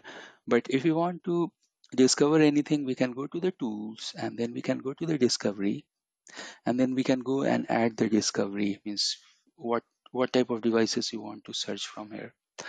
So let's stop here and in upcoming section we'll focus more on discovery and other design related stuffs. In this session we are going to learn understand about dna discovery process. Now what is happening? Suppose if you have underlying infrastructure and you want to manage that infrastructure with help of DNA as a management plane, so you need to discover all those networking devices inside DNA. Now we have two options. We can go to the menu, we can click to the tools and then we can go to discovery or you can scroll down and you can reach to the discovery page that discovery icon will be there. You can click there and you will reach to this particular discovery page. Now, once you're inside the discovery page, you can click this plus button there, and then you can go and discover uh, in terms of CDP, in terms of IP addresses or range, in terms of LLDP. But the important thing here is that you have to give the credential. Minimum, you need the CLI and SNMP credentials. So CLI credential, because what is happening that the DNA is checking that those devices are capable of SSH or not because DNA has to create session in between DNA and the underlying uh, IT infrastructure devices. So that means it will go and check the SSH capability, uh, SNMP read write capability as well, or SNMP 2 or 3. Apart from that, HTTPS, HTTP, and netconf, those are also there. So it's better if you go and enable most of these things like CLI, SNMP, HTTPS, and netconf. So later on, the DNA do not have much difficulty to log into the devices. And if you want to push any configuration from DNA template to those devices. Now, this is quite a user-friendly uh, GUI dashboard. So once you go and put the CLI and SNMP credential, you will see that this grid area, they will become pink and once everything is there you can go and in the bottom you have one button discover. You can click discover and the discovery process will uh, start correct? So let me quickly log into the dna and let me show you this discovery process. So we are here. Now you can see that you have this add discovery. So how you can reach? You have two options either you can go to the tools and discovery or you can go to the main dashboard and from the main dashboard, if you scroll down, down, down, if you go to the bottom, you will see that you have this discovery option. So the first thing that we should go and discover the devices. And let's try to discover. So I want to discover router and switches. And I should go and give the IP addresses related to that. And if you have range of IP addresses in single shot, we can go and give it if you have multiple IP addresses. So you can use like this. And let me quickly check the IP address to the switch. So let's go here and check the IP address related to 3850 switch is coming up. Let me check the IP management IP address and the same IP address I'll go and put inside the DNA so I got the IP address here. Let me go and put here so I can copy and paste those IP addresses. So one is 23 and other switch is 24 let me go and give that. Now on bottom you can see that we have the discover button here but before that we should go and add the credential otherwise this will not work. So I'll go and add that logging details username and the password. We should not use admin as a username or the password. Save this as a global setting so it will be applicable for all the devices. But you should have the integration with AAA or TACACS and from there uh, you can integrate your username and the password credential correct? Read only read only for snmp save this also as a global setting configuration. In the upcoming section i will uh, let you know that what does it mean by global configuration setting. Then you can go to the read write and click this also as a global setting configuration. Save this and then you will see these colors will become pink so if I scroll down, you can see here that they are becoming pink means these are enable. Click discovery. Um, again, we have option that we want to discover now or you can schedule it as well. So I don't want to schedule it because I just want to do the discovery. Click start this discovery process and then DNA will start looking for these network devices Now, clearly you can see on top that we are getting one message that once discovery is completed, go to the inventory and assign these discovered devices to the site. Correct? So here you can see if I go and click, you can see it should be, yes, you can see the discovery is in progress. So far, none has been discovered. And here you can see the success, unreachable, failure, all those signs messages you will get. And once it will get discovered, then you will see these devices inside the inventory. All right, so let us give this discovery process some time. Once it will get discovered, then we will go back, we'll go to the design section, we'll design our uh, site hierarchy or site, and then we'll assign these network devices to those particular sites. Great, so let's just stop here. Since we have discovered the devices, in this section, what we'll do, that will go and attach those devices to the site. Now for that you have to go to design. From design you can go to the network hierarchy. Once you are inside the network hierarchy, you can go and create your site design. Correct? So what are the things you have? You can see that you can go to add the area, building, and inside the building, you can go and add the floors as well. So first of all, we can see that we can go and add the area. Once we have the area, we can go and add the building name and the full address with the latitude and longitude. Likewise, once you are inside the building, you can go and add the floor. Correct? So add the floor, if you have the floor map, you can upload the floor map as well. You can take the floor map from the prime infrastructure as well and same you can import here in DNA as well. So DNA is fully supporting the prime infra floor maps as well. Let me go and let me show you that how we can do that. So first of all, you can see that uh, our discovery is successful and we are able to discover only two devices, although I have given one device credential for 3850 switch as well, which is not discovered because it is unreachable, maybe due to SSH issue or maybe routing issue that we can figure out later on. Now what we can do here, we can go to the design first and you have to create the site design. So you can uh, go to network hierarchy. Nothing is here. You can go and click add site.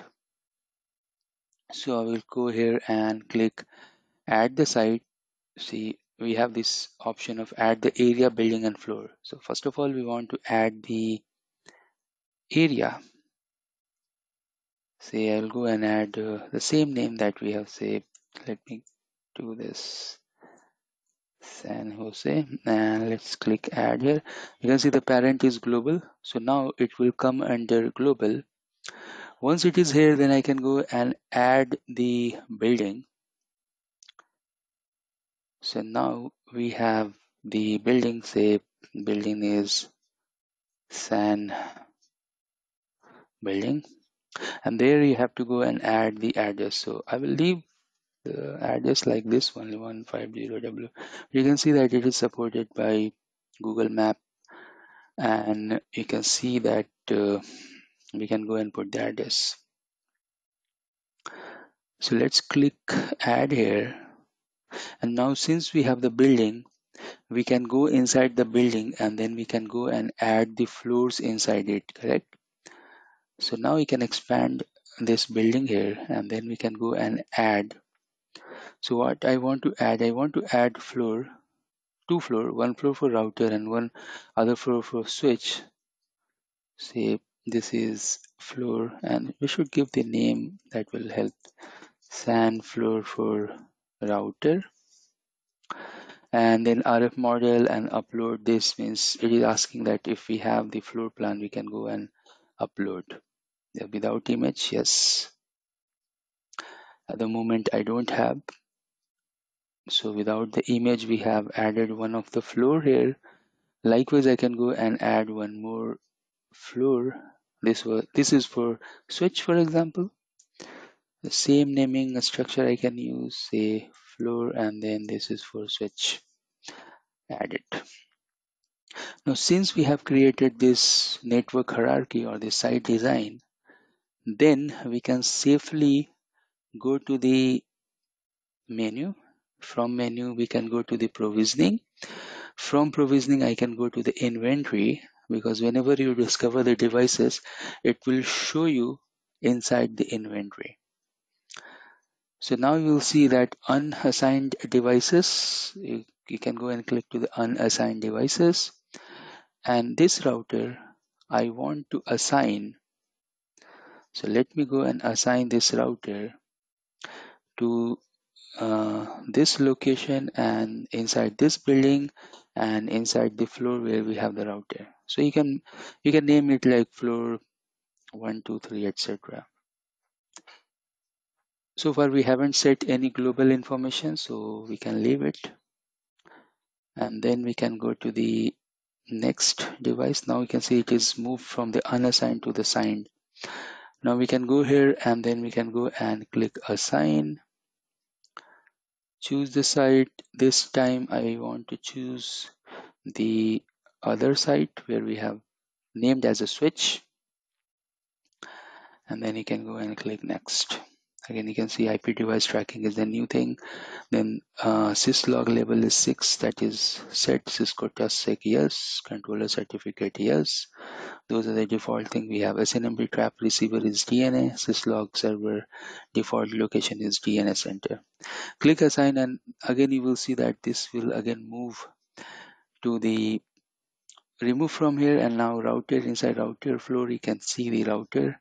Inside the switch floor you can go and switch the uh, you can see that switch. Great. So this is the way we can create the uh, network hierarchy or the site design and then the discover devices we can come here and assign to the devices correct? So now devices are correctly assigned to the uh, DNA and you can see this is DNA managed.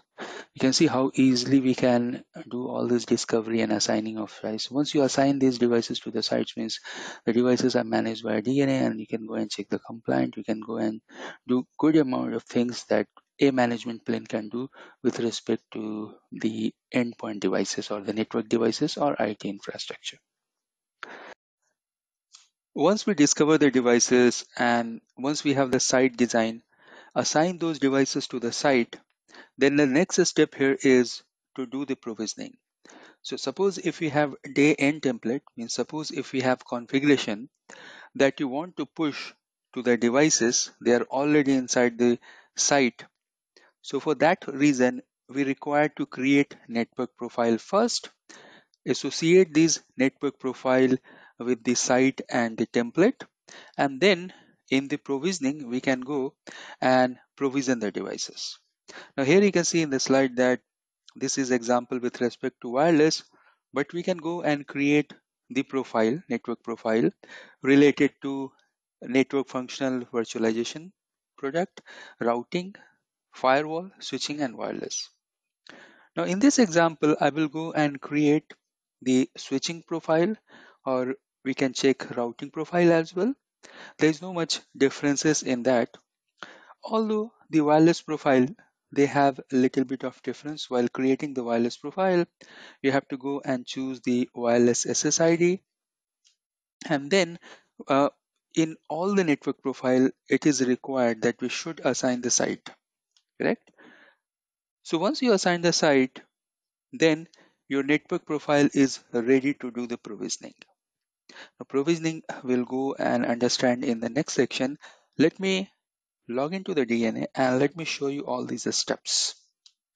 So here we are inside the DNA. The first and foremost step we have that we should go and create the template. How we can create the template? You can go to the tools, you can use the template editor and then um, suppose if I have day n template project, this is the project name.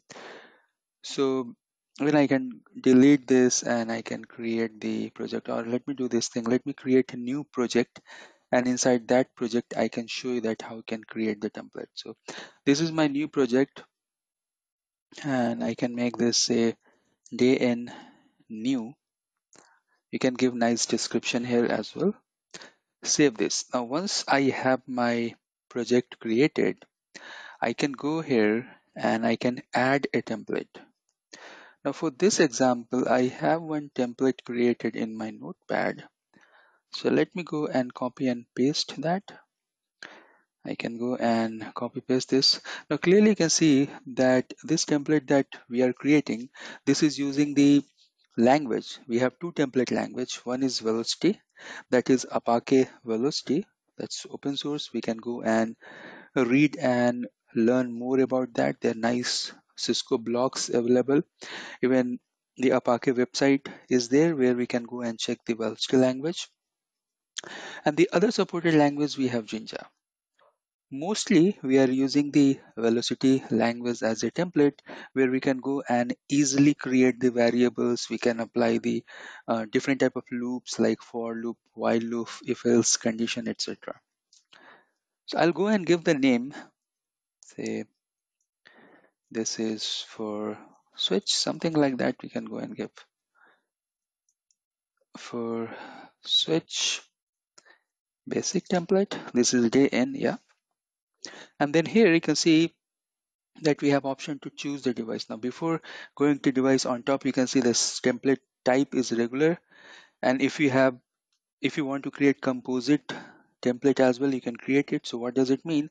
You can create good amount of regular template like template for AAA, template for services, template for NTP, banner, SNMP, etc. And all those templates you can go and collect inside the composite sequence. So one composite template you have, inside that you have all the small, small templates, correct? So at the moment, leave this composite where we want to create the regular simple template and the device I want to apply this template for hub and switches. So let me go and select hub and switches. Let's go back. And then you can see the software type. I want IOS XE click add. So now you'll see this blank black screen will come. I have already copied the template. Let me explain this. So if you are using this double point symbol that means you are giving the comment so I'm giving the comment here and then interface then the interface name whenever we are using this dollar sign this is for variable so the interface name is variable. Then the IP address that we are putting here with this interface, suppose we want to create some loopback interfaces. Then the IP address is also variable. Then the other loopback interface that we want to create is also a variable and the other IP address is also as a variable. So that means in this template we have complete four variables and then we'll see that how it can be used.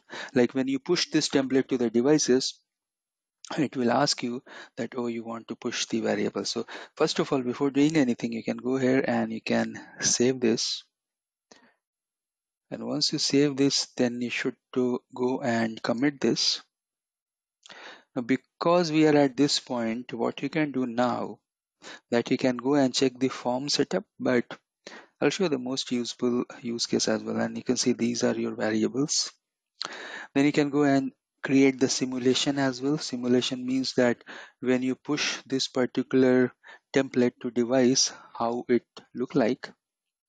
So you can give say name as a sim1 and then once you put all this information, say, uh, let me write here, loop back one, one dot one dot one dot one, then um, loop back to 2.2.2.2 and if you go and see this how it look like before pushing this template to any of the devices you can see the configuration will look like this. Okay? So now you have the placeholders for your variables but we don't want this. Let me cancel this because we want to use this existing template inside network profile. So now our template is up and ready. Let's go and uh, let's go to the design section where we have the network profile option. I can go to network profile. Once we are inside the network profile I can go and add the profile. I want to create this for the switches I can give the name as I say basic and then the loop back. This is for switching and because this is for switching so I'll show that what does it mean.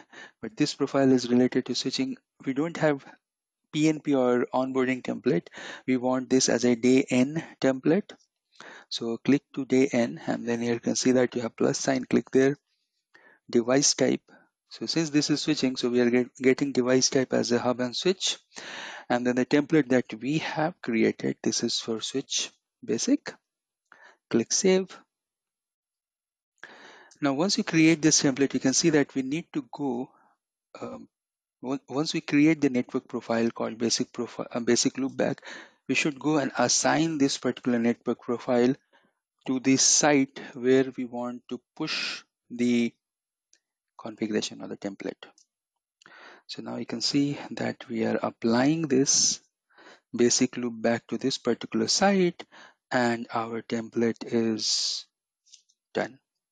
So template part we have done. Now next section what we will do that will go and apply this template to the network devices after creating the network profile the next task we have is to do the provisioning. Now it's again easy. You can go to the menu. We can click to provisioning. You can go to the inventory. Now key thing here is this that once you are inside the inventory and once all the devices they are assigned to the site then what you need to do here is that you can go on the top. You can change the focus as uh, provisioning and then you can provision those devices. That means what does it mean? That you are doing the provisioning that means that that particular network profile that we have created in the design section that is going to deploy it with this particular devices those are there in that particular site. So we have option actually. We can go and select the select one device or we can go and uh, select bunch of devices with respect to what type of network profile we have created. So for example if we have created the profile related to switching obviously we should go and select the switches. So let's go and do the provisioning. Now here you can see I can go to the um, menu and once you are inside the menu you can go to the provisioning go to the inventory and first thing I want to do here just for sake of simplicity I want to change the focus. So from inventory to provisioning and we can go inside that particular location where we have the devices. So we have the switches. I can go here to the switches and then you can see that inside this location so SAN floor switch. I have two switches. And then you can go and click action. Go to the provisioning. And then assign device. Oops not that one. Let me cancel it because it's already assigned. So go to the action and go to the provisioning. And then uh, we want to do the provisioning provision of devices correct? So let me quickly select these. First otherwise you can see the options will not come so once you click so once you click provision devices so what will happen? It will start the workflow and we want to apply to these devices belonging to these sites. Yes. Go next. And now if you go and click here you can see that in this particular location we have two switches and for both the switches we'll get all the four variables. So first of all if provisioning these templates if uh, again if it is already there I want to um, push again or maybe some updates are there so we can update with the new template. If some some configuration is already there again with this option it will go and write it one more time. So there's no harm. Copy running to the startup yes. Interface name. I'll go and give say loop back um, let's give some names say 41 and the IP address I'll give 41 41 41 41 then loop back 42 and then IP address I'll give 42 42 42 42 likewise I can go here and let me copy this loopback name to 9300 and here I will go and give loopback 43 and the IP 43 43 43 43 and then the loopback 44 and the IP correct? So now we have filled that uh, form with all the variables. It's okay. We can go and next we can click deploy. We want to deploy now so it will go and uh, start the provisioning cycle. You can see here we have the provisioning status as well. So if you want to see the status the details that you are doing the provisioning you can see one second ago. And if you go and click here you can check the detail. So configuration is in progress. I can go here click see details and we can see the provisioning details. So you can see complete workflow. And where we reach inside the workflow? So if I go here you can see success. And if I go and click the success details if you go and click that you can see again great amount of detailed informations we have. So this is something uh, day zero type of configuration as well and behind the scene how the DNA is re, uh, reacting with installing the certificate doing the communication with devices all those things it is showing. But here it has failed due to some reason. This configuration is not pushed inside this particular device so that fail status also we can go and check why it has been failed and it has been failed due to these re uh, reasons. So validating the service parameters validating user intent provisioning to this site this template is not proper. It's okay.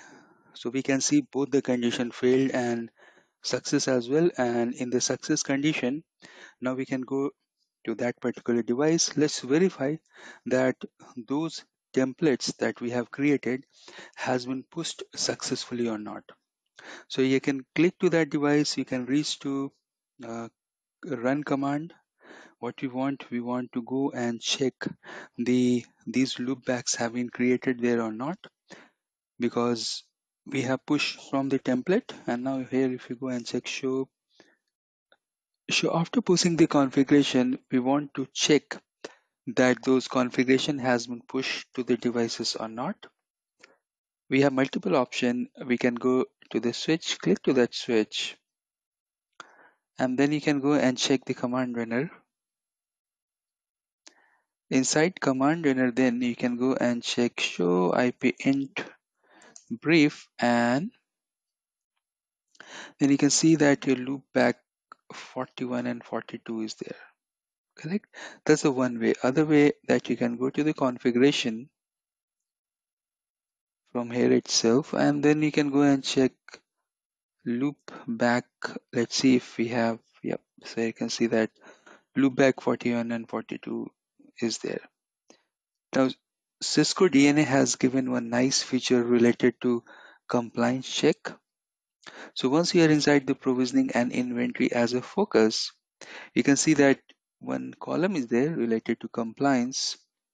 And if you go inside that it is checking the compliance with respect to started versus running configuration check, software image, critical security advisories, maybe if we have application visibility, those, if we have fabric enable, those checks as well. Now here, I can see that with respect to startup and running configuration, in a startup we have 302 lines and then running we have 307 lines. So that means that five lines are missing and here you can see that uh, the red mark this is the timeline. So when we have done the configuration change so at this point of time we have done the config configuration change and you can see that which new lines has been pushed from this script. So these are the new lines. These five new lines have been pushed uh, to this particular switch with respect to NES script. And that's why it is showing you the differences here correct?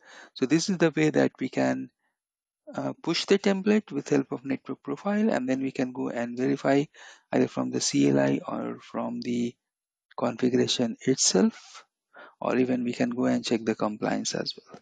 So multi, multiple places ways that we can go and verify as well. So far we have discovered the router and switches. Let's continue and let us discover the WLC as well.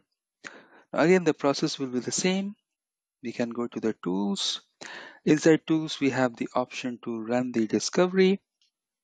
Now we can go to discovery and once we are inside the discovery you can see the discovered devices here we can go and add one discovery for WLC I can go and give the name WLC discovery IP range for the WLC so I can go and give the management IP for WLC and then because we have only one so I can go and give the same IP in the source and destination. Whereas the cre credential and SNMP things are the same. Now we can go and start the discovery for WLC.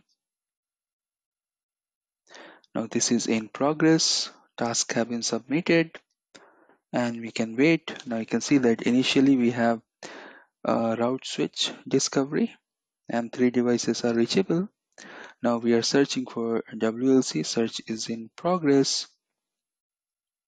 We can wait. Now once this discovery will be successful, obviously it will be seen here inside the inventory. So we can go to the provisioning and inventory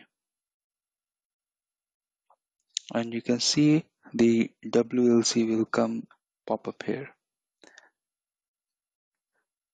So now you can see that WLC has been discovered and it is telling that there is missing netconf port and we haven't added the netconf port while doing the discovery.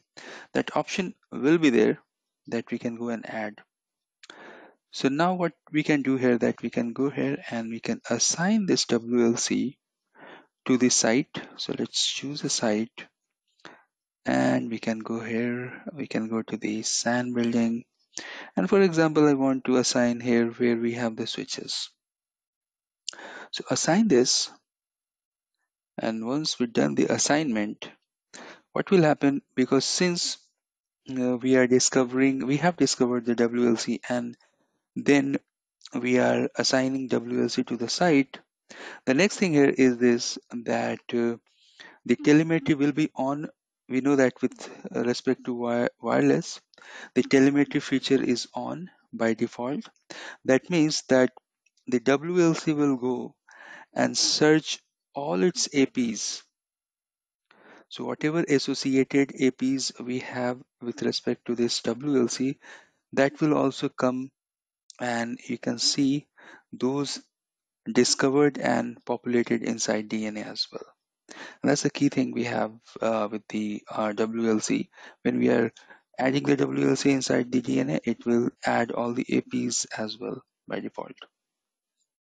Now, one important point we have here that you can see that because we haven't enabled the netconf feature, so there may be chances that the DNA having difficulty to using netconf port 830 to log into the WLC and um, you know do some stuffs.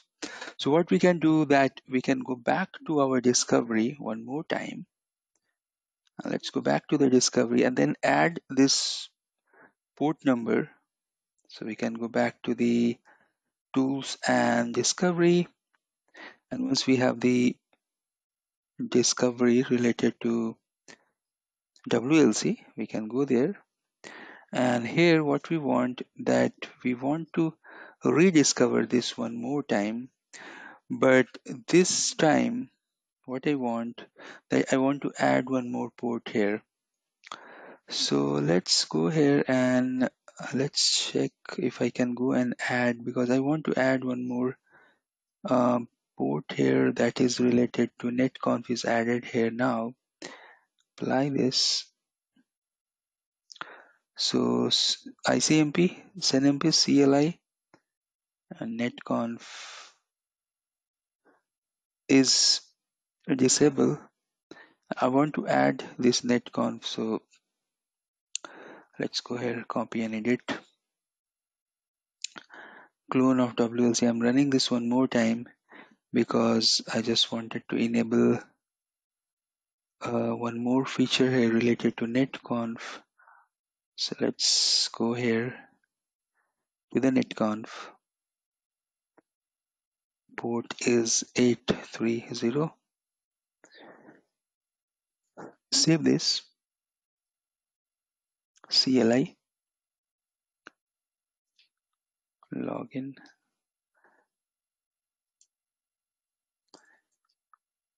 But we have this login already here so I can I can cancel this. I simply want to add the netconf where you can see this is there in the bottom. Click discover one more time start this and meanwhile it is working we can wait. So it took few seconds and let's go back to the inventory. Once we are inside the inventory we can safely go and go to the switch we're inside the switch and now you can see uh, the WLC is there correct now we can give this some time so associated APs will come and pop inside the uh, inventory as well so this is the way that we can go and discover the W. we know this point that all the modern SDN framework they are supporting plug and play option so either it's a Cisco SD-WAN, Cisco Viptela SD-WAN, it's a Cisco DNA for enterprise network or for the campus area network. They are supporting plug and play. Now, what is plug and play? As the name suggests that you can go and connect your switches to a network and then that switch will get uh, full configuration it will be up and running and it will join the fabric or it will join the network because anyways this course is related to non-fabric management but the switch will get the configuration. Um, it should have something called day zero configuration and it will be up and running. Later on the same day as well we can go and push the day in configuration or rest of the configuration as well. So how this process work? By default it's actually very easy and straightforward. So let me show you that first and I'll come back then. So here you can see that I have the switch where by default. So if the switch is coming from Cisco there is plug and play agent is there by default. So once you connect that switch to the interface to the network port then the plug and play agent will be there. Now with help of this plug and play what will happen? That somehow he has to reach to his DHCP server or somehow he has to resolve the DNS or even if we have a smart account and your DNA and a smart account they are synced together. So the story here is this that somehow he has to reach to the DNA center. From DNA it will go and start its plug and play operation. That means once DNA will recognize this device that this is a valid device this is a device i i want to help to do the day zero configuration once that particular authentication will take place then my pnp server that's the dna center it will go and push first of all it will establish a secure communication connection in between that. And then as per our day zero configuration as per our template that we have created as an onboarding template those configuration will get pushed to the device and then that device will be up and running so in this case on other word you can see that that uh, somehow the gateway devices they can work as a DHCP server and that's the reason let, let me go back here one step so I can show you that in in our lab we have ISR router and that router we can go and enable the DHCP services, particularly DHCP option 43. Now with this option and there are some configuration as well where we are embedding the code related to DNA Center. So we are giving the information about DNA Center. So whenever the agent will come and query to that gateway router or gateway switch where we have the DHCP server enabled, then that query will be forwarded to DNA Center and then DNA Center will take care the rest of the actions. Correct? And the same theory you can see here by default all the devices all the interfaces in the switch they are part of VLAN 1 and inside VLAN 1 that process will start. Now what is happening here so once the plug and play so once we connect the switch for plug and play then DNA Center will learn first of all its serial number. So what will happen if you go to the uh, provisioning and plug and play, then you will find that you have one serial number. Here you can see that serial number is listed and we will see this in the lab as well. So you'll find that your serial number will be listed there. What we need to do that just select the serial number and click claim. Once you click claim, then the PNP workflow will start. So you have to assign the site, assign the configuration, do the provisioning template, and that's it. The things will be taken care from the DNA center. Once your plug and play will be up and running and successful, that means that your device will be onboarded successfully and you can see that device inside that particular site with the day zero configuration. So now this thing we can perform the lab task. So let's stop here and in the next section we'll go and perform the lab related to this. Let us make our system ready for plug and play. So at this moment we know that in our DNA we have few devices which is already discovered.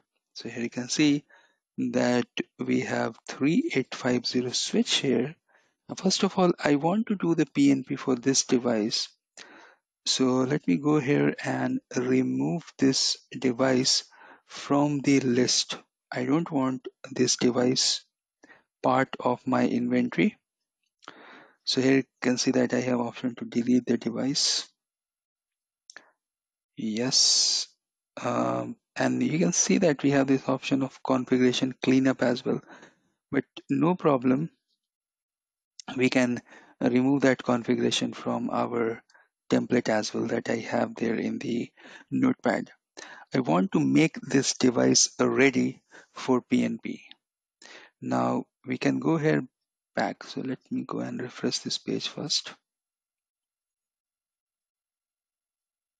So if I refresh, still it is in progress seems, but uh, you can go to the same place. So let me show you the order you can go to the provisioning and you can see that plug and play and let's see at the moment nothing is there. No serial number has been discovered uh, from DNA to start the plug and play correct? So we will do that.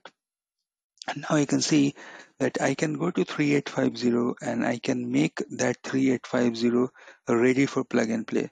So I'll go and remove all the configuration, all the certificates, all the keys, whatever keys that it, it is there because whenever the DNA is discovering the device, it is it is pushing those keys inside that in, in terms of generating the RSA keys and then the certificate registration, etc. So those authentication process, those trust relation actually is building behind the scene. And if you want to make a device just for lab purpose to do the plug and play, then we can go and remove all those configurations and the keys, etc. So these are the configurations. Simply I'll copy and paste to 3850 to make that device ready for plug and play. Now what will happen at the moment the plug and play agent will get kicked inside 3850, it will go and check its gateway. Now inside gateway, you can see this is the configuration related to DHCP and you can see that option 43 where we are giving the IP address for the DNA and you can see that to the protocol is 80 and some other code as well is like uh, some other code I can show you in the PPT slide that what does all these code means. So in next section, I will show you this meaning of the code, but the agent will go and contact to the DNA center and then DNA center will take care about that.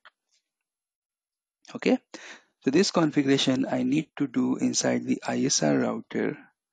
So let me go and log into the ISR. I have the ISR 4451 here and I can make the ISR device as a DHCP server for the switch PNP processes. Correct. Next, I can go to the switch 3850 and we can start the PNP inside there. Now, it's very important to understand that once you are starting the PNP, you should not press any enter key inside that particular switch. So if you are here and if you are doing all these commands, if PNP is getting started, system configuration modified, no, confirm, proceed to reload. Now it is, you can see now it is, uh, reload has been started. Do not do any change here. So from here, the next task we have that we should go and create the template inside the DNA as well. So for that, I have one template here that I want to create as an onboarding template. And we know that uh, when we are creating the template, if we are giving the dollar sign there, that means that we want to create the variable, correct? So we can go here and if you go and refresh this guy here, you should see the serial number here because if you do not see the serial number, reclaim process will not work.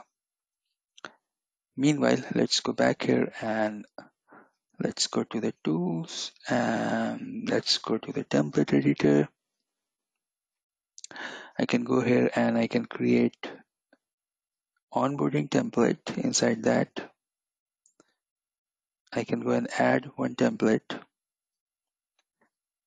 This template name I will go and give 3850 and PNP. This is onboarding and the devices. We want to onboard hub and switches. Let's go back and select the image. That is the software type IOS XE. Add it. Now once we add it, then we'll go and put that configuration that we have. So this is the configuration. In this configuration, you can see that uh, this is the basic one configuration where host name treated as a variable.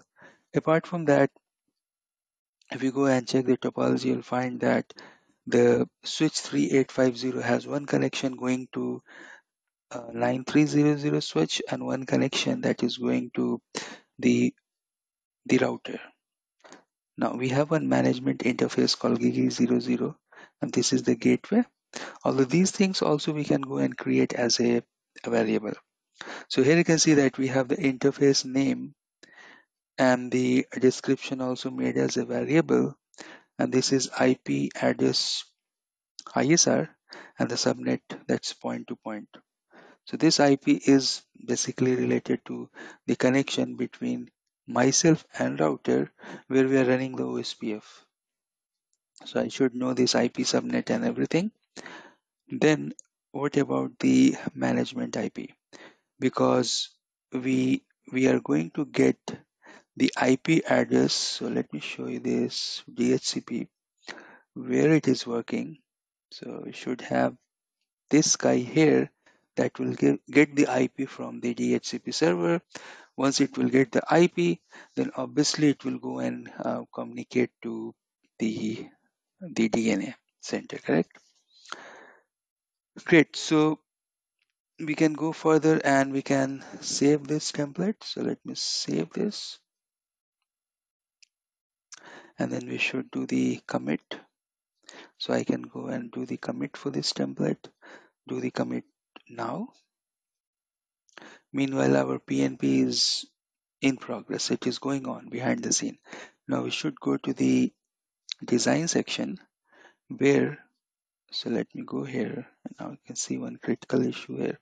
Now we can go to the design section and we can go to the uh, we have the profile here and we want to create a profile for day zero. I can go create add profile related to switching and here we can go and give the name PNP 3850 this is the switching. This is day zero. That's right. We can go and add the device. Type here hub and switch 3850 PNP the good thing here is that we can not only add the day zero but same place we can add the day n as well. So we have one day n template as well related to this switch. And just for an example I'm showing you here that you can go and add this as well. So we have maybe basics or maybe this is for the switch basic etc that you can go and add. Correct? Great. Now what we can do we can go and save this. And once we are here to the PNP we should go and assign this template to the site and we know that our site is the floor switch. Click save click yes. And now we are good. Now let me quickly go back to the provisioning and the inventory just to see that how many devices we have inside that floor. So you can see that these devices that we have discovered and if you go and click plug and play still we are not seeing any serial number that we want to claim. Correct? So you can see the dashboard that is still we are not getting uh, the device that should come here and we can do the claim. So we have option here to uh, learn that source as a user defined or from the network. But if we go back here and if we go and check our script that we have copied and paste uh, let me go back to this location. And you can see that uh, trust pool is okay. Zero touch is okay. Those are okay. And write erase. And once we are doing write erase so that's the key here. So once we are doing the write erase reload and then no so let's see uh, write erase then reload then no and then confirm. Yes it should confirm it. And those are the steps that we should use. Now if still we are not able to find this no problem. We can do one thing that we have the console to that particular switch. Let's see here so from here let me try to log into 3850 switch. I just wanted to remove all the configuration and make this switch ready for PNP because generally what will happen that you need to go and connect your device here. You, you don't need to erase everything and anything and do this thing just for lab practice we are doing it. So let me go and erase let me console to this switch erase all the configuration and let me come back to this particular switch. So what I have done that I console that switch and the same command so here you can see that the same command that we have run via the SSH I have console to that switch and I ran that same command. So on the top to the bottom you can see same command that we have in the notepad I executed here and now this switch is rebooting and it is ready for PNP so you can see that it is ready for PNP. The point here that we should not press enter, otherwise the PNP process will get interrupted. Now let's go back to the DNA center. Now let's see if we are able to get the serial number here because once it will get the serial number then we can go and do the claim process. So we can wait for a few more seconds. And now you can see that the switch is rebooting, but you can see that PNP is started here. Now you can see that it is going for PNP with port number 80 and now the DNA center should discover this particular device.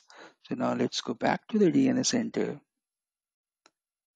and inside DNA center it should fulfill all the queries that is going on behind the scene. So let's go and check the DNA center. Let me go and click there and here you can see that I have one serial number that is coming requesting here it is in unclaim position. We can go and click to the action click claim. And then you can see that workflow has been started. So what we need here is that just follow this process and the device name obviously we have created the template. And while pushing the template we can go and give the device name. But this device name is just the process device name then you can go and assign the site. We know that the site we have is the floor switch. Apply to this site. By default, it will get picked here. You can see the serial number, project ID, etc. Then go to next where you want to assign the configuration. Here you can see assign configuration is PNP that we have created with that day zero configuration and plus inside network profile we have attached it correct? Now we have option to assign with the golden image as well and you can leave this as default as well so there is no problem. Later on if you want to upgrade the image that we can do it. Go next and now you will see that it will ask you whatever variables that we have created inside the template so hostname I'll go and give 3850 PNP today or any, any name just the placeholder. Then the interface name. Interface name here you can see that we have interface name and that's the point to point interface and it should be very carefully given here. So I should know that which interface is connected with the ISR because this is related to ISR interface that we have created as variable. And I have that in my notes. So here you can see that the switch router to switch connection. So this is the interface that is belonging to the switch and gig 00 uh, maybe router. So 1024 is the connection. And again I can verify this because if we give this parameter wrong then uh, problem will happen. So what I will do here I can go to the router and inside the router we can go and check show CDP neighbor. So at least we can get, get the information about uh, 9300 you can see the switch. So yeah 1024 so that's correct. Let's go back here and give the interface name. Is this then the description connection to ISR and you can give any good description then the IP address. Now again this should also be right and we can go and check sure an interface gig 003 so 2.1 here that means the other side will be 2.2 so I can go ahead and give IP as 2.2 and net mask you know 255.258.252 because this is point-to-point OSPF related network. Great, click next and I can see that some problem is there. Error, now you can see and this is good. So what it is telling that this error we are getting because inside the design section network setting we don't have the configuration related to the global parameters or the CLI parameters. So that's uh, cool and we can't do any claim because it will throw an error. So we should go here. We should go to the design once we go to the network settings you will see that we haven't given any configuration related to oops device credentials. So let's go there and let's go and add the parameters. So this is there and let's save this so login credential while we have done the discovery we have added that. Then I have read only for SNMP this should be inherited correct? This should be inherited to the lower level. Lower level means that at the site level. Save this. Now what we can do we can go here we can go to the building we can go to the switch. And once we are at the switch level I'll get this pop-up message. What it will tell that settings displayed with the above icon have been inherited from the parent to site. Okay yes I want this. I want to do this inheritance from the global to this particular site level. Click save. Okay now it seems okay. Now again we can go to the provisioning and plug and play so I can go here to the provisioning plug and play. You can go here you can see the 40% is there. We can go and click claim. And again we have to repeat that process. So no problem. We'll do that process one more time. Here also an interesting fact that while you are doing this process and if you find any difficulty any problem related to configuration then it will again throw an error but it will tell you exact which line we have the issue. And then let me go and give the mask 252 the interface name is I should give the exact correct interface name otherwise problem may happen. So I can go to the notepad where I have the interface exact name 1024 let me verify here that the IP address should be correct. So this is 198.192.1 that also need to be modified.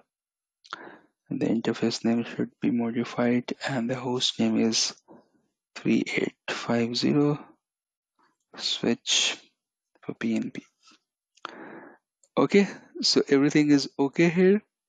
And we can go click next. And now you can see there is no error. You can click claim. It will take a while. It will take two to two to three minutes.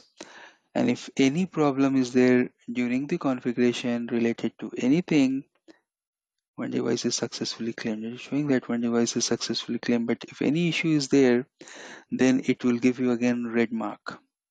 You can go click to that red mark. You can check exactly what issue at what point and then further from there you can troubleshoot. Alright so let's wait for a few seconds.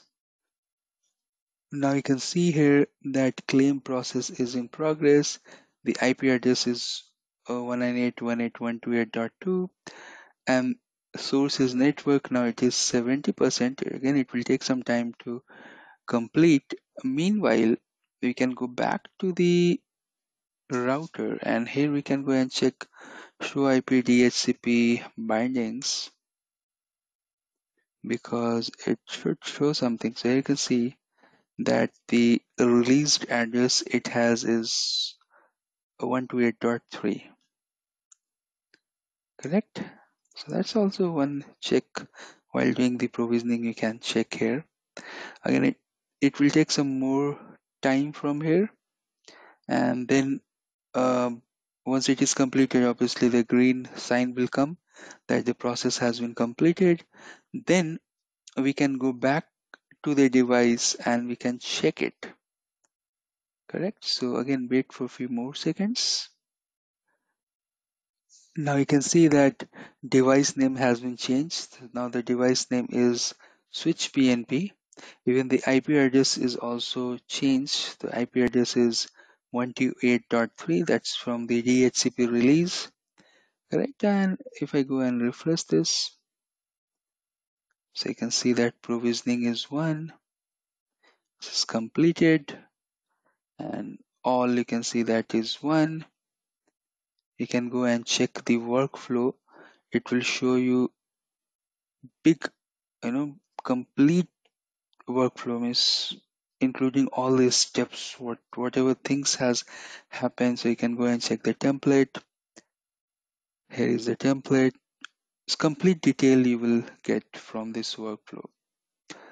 Great. Even you can go and check the history as well. So once it is configured, we can go back to the inventory. And inside inventory, we know that where it is. So here we have the 3850 switch PNP. It's non-compliant. And then we can go click here. We can go and check the command runner and all. We can go here to the command runner and once it is there, you can see the name has been changed. Show IP interface brief just to check this thing, um, the IP interface brief, and you can see that the template push is there, but let's check the IP address over the interface. So 128.3.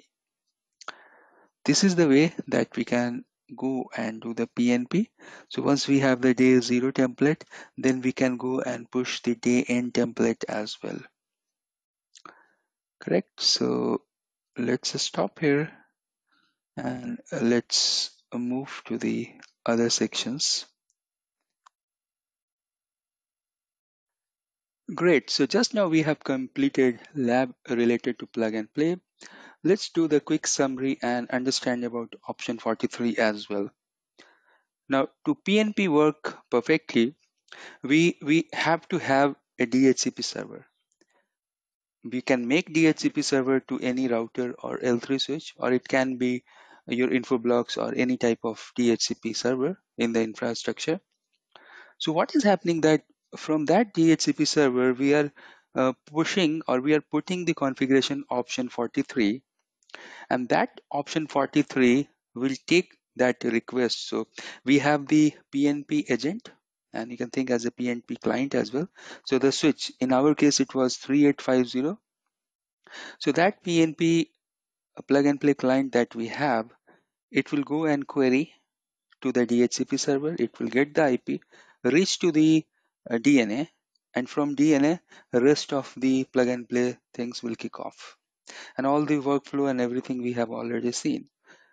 So in that case, we have option 43 that we need to go inside the DHCP scope and enable option 43.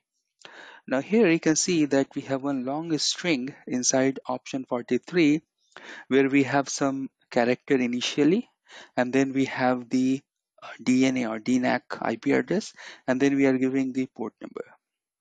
So here you can see that 5A1DB2K4 like that it will start. 5A stand for PNP DHCP ID. 1D stand for the debugging is on. 1N for debugging is off. And then you can see that we have the token.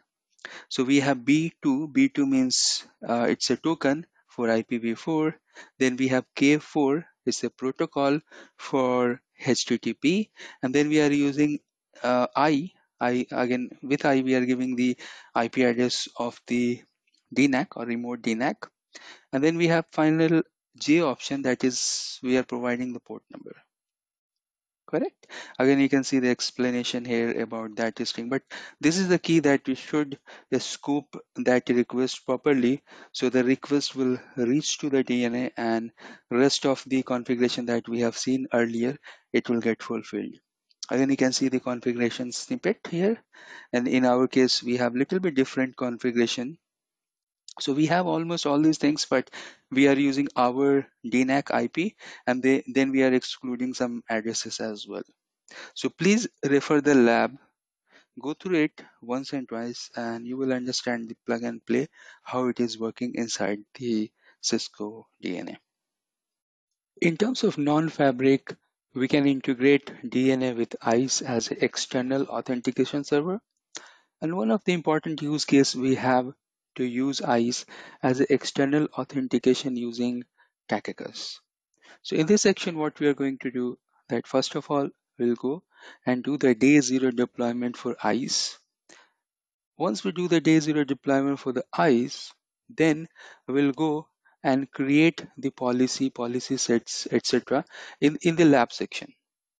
But before that, what I'll do that I will explain you all the theory behind that, that exactly what we are going to do in the lab section, what are the steps involved. And once we complete the lab, so by the end of that section, you will see that how we can go and verify uh, as well. In this session, we are going to learn that how we can go and do the day zero deployment for ISE. We have ISE 3.0. So first of all, what you need once you have your VM access to the ISE image, you have to go and type setup command and then you can go and give the host name. So suppose I go and give the host name as ISE. Then you have to go and give the IP address. So let me go and provide the IP address. You don't need to press twice um, you have to give this IP only once. And suppose if you have any problem doing this again, you can press Control C and you can see that you, you will move to the setup mode, correct? So go to the setup mode, give the host name as ISE, then the IP address 198.181.133.27, the net mask.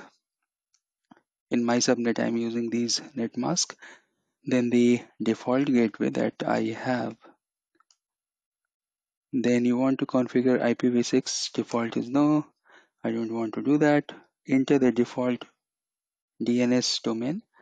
That's the cloud.cisco.com and then the name server. Name server IP is this then it will ask you secondary name server. I don't have at the moment then it will ask you the NTP address.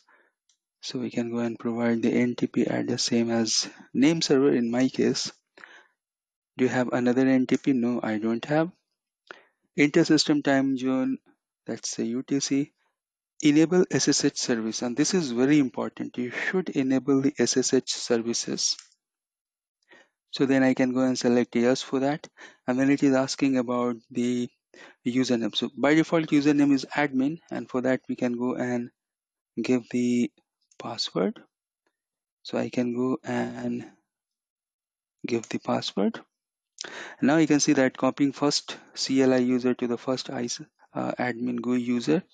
And the process in detail will start now. So what will happen that that uh, the uh, ISE will go and start all its services related to administration services, monitoring, etc. Means that particular service will get installed and it will take 15 to 20 minutes.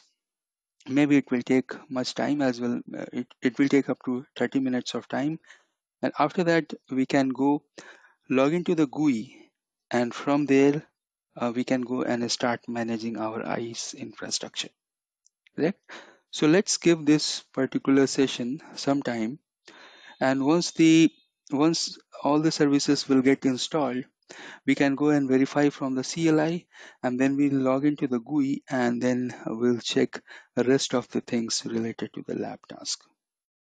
Now let us understand the theory and the step behind the external integration. So integration between ISE and DNA and ISE as external authentication server. In this case, the protocol that we are using is the TACACS. Great. So first of all, we need to integrate DNA with ISE. And what are the steps involved? You will watch this in the recording. So you have to go uh, inside DNA, you have to go inside system settings, and then you have to choose the option authentication and policy server. Then you have to give the detail about ISE. So what's the IP, what's the secret key, what's the FQDN, and then you need to enable the TACACS option as well. By default, the protocol radius will be enabled. So enable that, give the shared key. That's the step number one from the DNA side. Now we have deployed the DNA and then the first step that we have to do, go to administration and deployment and enable the device admin service. That's the first mandatory thing. The second mandatory thing we have is to check the license related to admin services. So, and here you can see that this is uh, ISE 2.7 or um, before, and this is ISE 3.0. ISE 3.0 will look like this. That's the snapshot I have given here. Now you can go and check the licensing and in licensing you should have the device admin enable. That's the second check. Then the third thing we need to do from the ISE is that add the DNA inside ISE. So add the DNA and then give the TACACS authentication services check mark.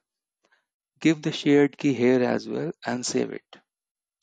Now once you save it, then that means that now ISE is knowing that DNA is part of its network devices or network device. In case if you have multiple uh, DNA, suppose if you have a cluster of DNA, etc., either you can change the subnet here or you can go and add one by one. Correct? So once we add that, and this radius authentication checkmark is not mandatory, so optional. So once you add the TACACS authentication, then at least 20% of the lab task is done. Correct? And you can see here that how this look like in inside the uh, older version before 3.0 ISE great. Now the next thing that we need to do now we have option. We can use ISE with active directory integration and those user groups we can create the rule. Or if we have external users so we can create external user group and we can add identities so external user identities inside the external user identity group. And then we can create the role. We know that uh, in dna we have network admin observer super admin telemetry etc like that we can go and create here as well. So we can create the identity group and inside that we can add the identities because these identities and group we are going to call in the next phase when we'll create the policy set. Now here you can see that I created two and in the lab I have I'm going to create actually admin one and observer one part of DNA admin and the observer group user group. Now next thing and from here your TACACS configuration will start. So we need to go to the work center. Inside that work center, go to the policy element. Inside the result section, we have TACACS command set and TACACS profile. Now in TACACS command set, if you go there by default, there is one rule that deny all commands, but there we can go and add permit all. So for that you have to check mark this thing like permit any command that is not listed. Suppose if you want, if you have list of command, so you can click this add button here correct? And then you can give your list of command like show ip int brief show ip route etc etc so that user when you assign this rule in the authorization section so that user will be authorized to use only those many commands. Correct? So once you create this the next thing is that we can go and create the TACACS profile. So now you can see that this is created and we can go and create the TACACS profile. While creating the TACACS profile, it's very important that we have to use some sort of uh, uh, attribute, the TACACS attribute, and I have listed the TACACS attributes here. Let me go. Yeah, so here. So you can see that you have to give the uh, you have the mandatory selection here you can see in the bottom let me highlight so because this is the critical piece we should understand so you can go and create TACACS profile. You can create profile like network admin observer telemetry etc then you can go and give the command. So you can give say default privilege 1 and then the maximum privilege 15 in between whatever rules you want to add you can add here. Correct? And then in the bottom you can go and give the attribute name Cisco AV pair and then the value. This value is nothing but the role and again the role is defined as per the DNS. So role is I have listed here super admin network observer etc. Correct. So you can create the TACACS profile uh, like super admin, observer, telemet, uh, observer, telemetry, etc. Like those, uh, or maybe employee, contractor, guest users. Anyways, guest user, why they will get any type of access. So like that, we can categorize our TACACS profile because this TACACS profile and the TACACS command set we are going to use in the next section when we will go and create the policy set. Now again you are in the work center and inside work center you can go to device admin policy set. This policy set rule that we are creating this is with respect to TACACS. So by default there will be one default rule. You can edit that it will work fine. Or you can go and you can you can go to this policy set section. There is one plus button. You click that plus button and you can create your own as well. In this lab i have used the default and the default authentication policy. You can see that in default authentication policy you have all user id store reject reject drop. Anyways if the authentication will get successful then it will go and check the authorization policy. We are not going to do any with anything with the authorization policy local exception and authorization policy global exception but we'll go and create the rule related to authorization policy in the bottom. So in the lab i'm going to create two rule one for the admin and one for the observer but you have to mention each and everything here. So you should go and call the conditions properly. And these conditions are nothing but the identity group and users that we have created. Then we can go and give the command set like permit all or some lim limited command. And then we can go and call the shell profile. So once our authorization rule is ready authorization uh, yeah this is the authorization policy. So once the authorization policy is ready our authentication policy is ready that means we are very much good. The next task we have after this is that we should go back to the dna correct? Go back to the dna go to the system setting users and external authentication because once you go there so you have to go back and make sure that your ISE and DNA integration is showing active. But you go, you can go back to the system and then the users. So here you can see that you have the users. So you can go to the external authentication and you need to check mark this enable external user.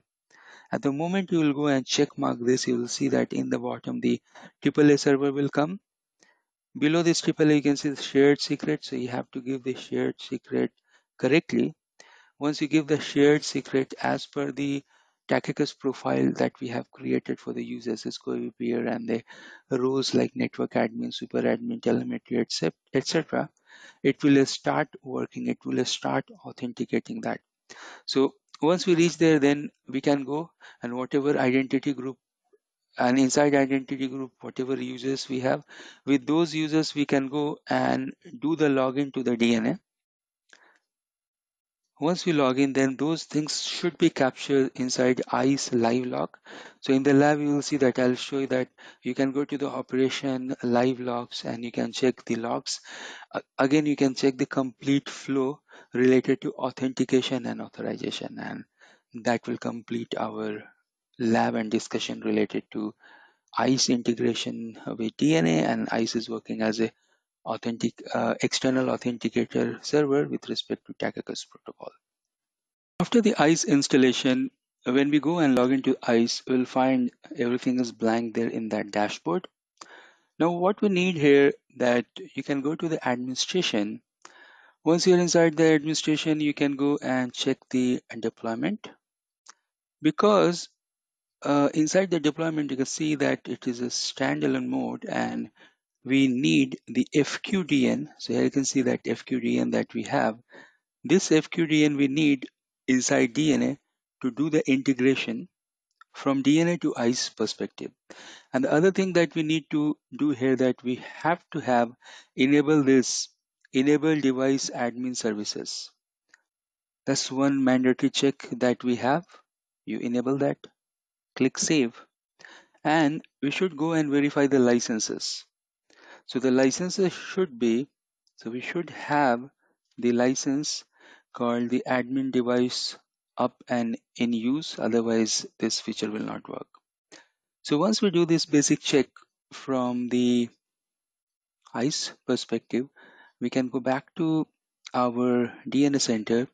Inside DNA center you can go to the system settings and inside system setting you will see that inside settings uh, we have option to go and add the ISE or the AAA. So here you have the authentication and policy server option. Click add and then you give the server IP address. Once you give the server IP address, just give the shared key. Check this Cisco ISE server on. Give the username and the password. Give that FQDN. And now if you check here, the subscriber name basically uh, used for the pxGrid integration. You can give any name, say int or something. So DNAC ISE and then that is the integration. Then we can go and check the advanced setting. Inside advanced setting, we should go and enable the TACACS services. Click apply. These things already we have discussed earlier in the PPT in the theory section. So these are the steps that we need to follow. Now once I will find that the status in between the DNA and ISE is active, that means at the moment what is happening that DNA is trying and creating the secure tunnel in between the ISE. They are checking their certificates and then the DNA is going is registering actually ICE inside its database, correct? Now you can see this is in progress, but if we go after a few seconds, if we refresh the page, you'll find this status is active. And here you can see the protocol is ready and TACACS. Now next phase here is that we can go to the user and we can enable the external user authentication. But before doing that, we should go and do the rest of the configuration with respect to ISE. So now what we need to do here, we can go to the administration and network devices. So let me go to the network devices from the administration. And once you are inside the network devices, you need to add DNA. So it is already added here. So let me do one thing. Let me go and delete this because I will add and I'll show you that how you can go and add it from scratch. So here you can go and you can add the DNAC then you can give the IP. So DNAC IP is this. Since we have only one IP address, if we have cluster of IP addresses, VIP IP addresses, etc., you can go and add with some specific subnet here. One IP, that's why we are using class 32. Then we can go and enable the TACACS authentication setting and then we can give the shared password here as well. Click submit. So this setting is done. Now next thing we want to create the users. So users assigned to user group and then go to TACACS and create the policies that we have discussed earlier so now you can go and you can see the device administration you'll find that you have the user identity group we know that what type of identity groups we have inside DNA correct now let me quickly show you that. So if you go back to the DNA and it should be active till now. So it's active if you go to the users and if you go to user management, so you'll see everything is internal user. But if you go to role-based access control and you can see that you have super admin, network admin, observer and telemetries, correct? Great. Now let's go back to the ISE and what we want, we'll create a user group, say DNAC admin. That's one. Likewise, I'll go and create one more for observer just for our testing purpose. So other is the observer and then we'll go to the identities. I'll create two identity here. One I'll go and create for uh, DNAC admin. So suppose this is admin one, like one, two, three, four, five. We can go and just assign the names. Let me give the password as well. like that I can go and and I should give the correct password otherwise obviously the DNA will throw the error Yep. And then here from the user group, you can go and select the DNAC admin as a group, submit. Great. Now I'll go and create one more. This time I'll give the name as observer1, OBS1. And here also I can go and give the password. Uh, let's give the password and the password and the password. Great. This time this is part of which particular group? This is part of the DNAC observer. Click submit. Great.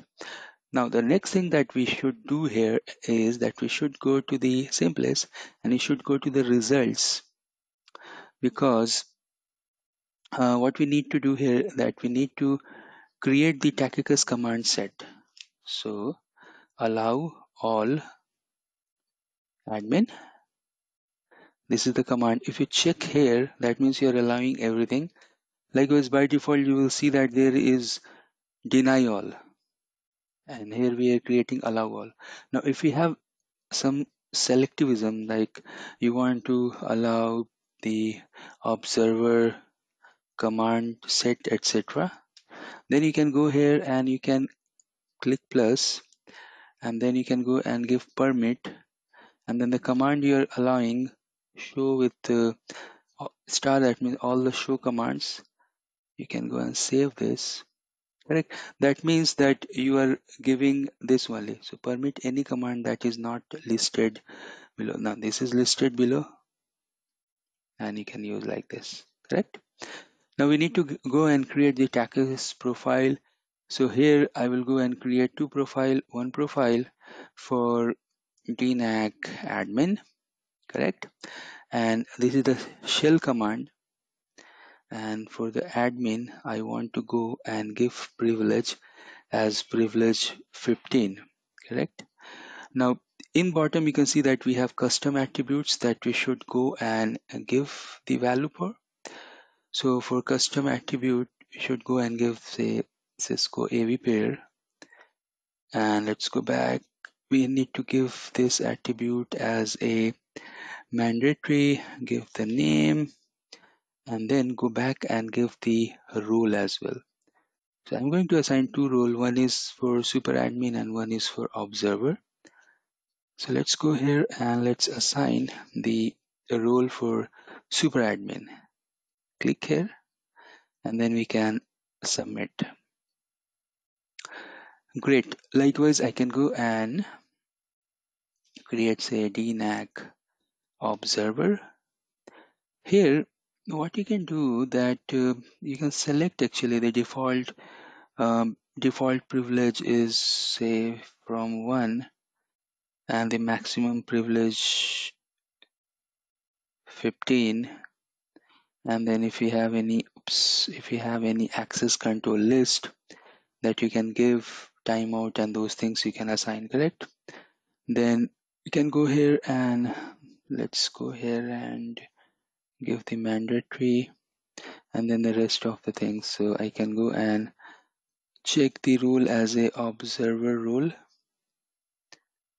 correct? And let's go and put the value as a observer rule and then we can go back and give the Cisco AV pair correct? So let's give this value here. Cisco AV pair copy it and paste there. Great. Now this also we can go and save. So let's save this. Scroll down. Submit this so now our TACACS profile is also ready. The next thing we need to do is to go and create the policy set and the rule inside that. Now here I can go and create my own as well or I can use default as well. Correct? So I can click here to policy set and then I, I will start creating my own. Or I can go here. Uh, here you will see that we have the authentication and authorization policy. We can use this default authentication policy as well there is no problem.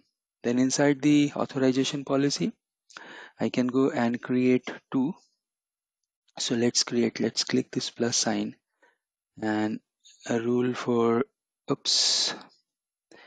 So by mistake I clicked this plus sign. That's why it is coming like this but no problem. Uh, let's close this first.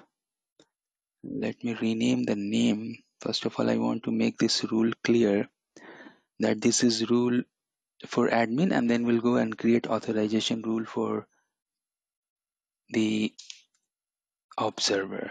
So click admin and then click plus sign. This is the condition.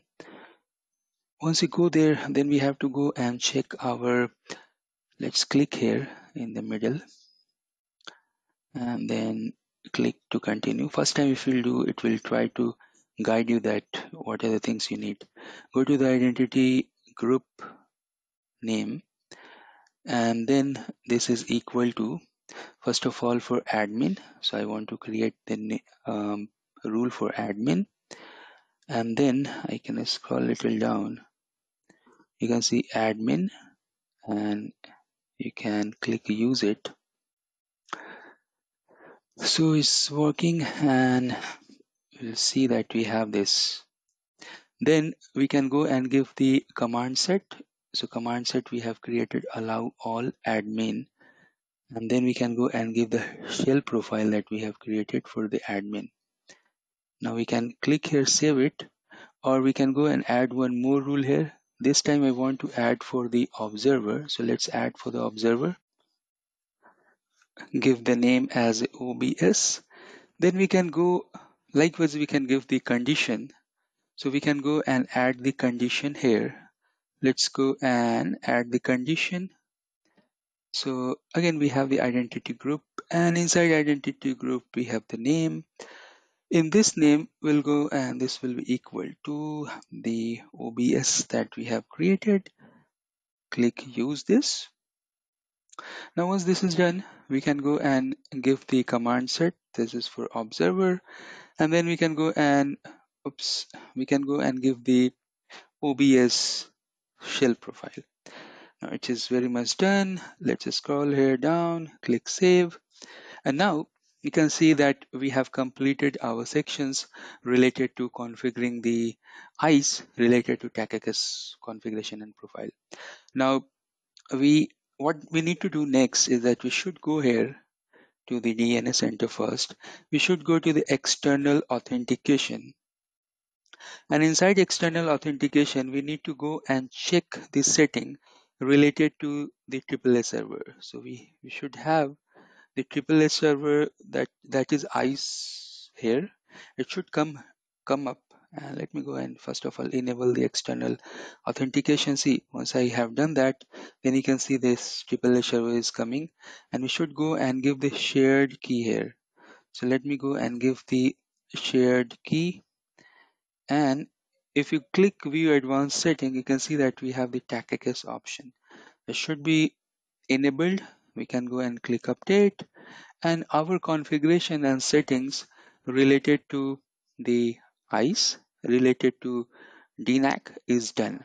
So the testing purpose, what we'll do that we'll go and with those users that we have created, we should go and try to log in to DNAC.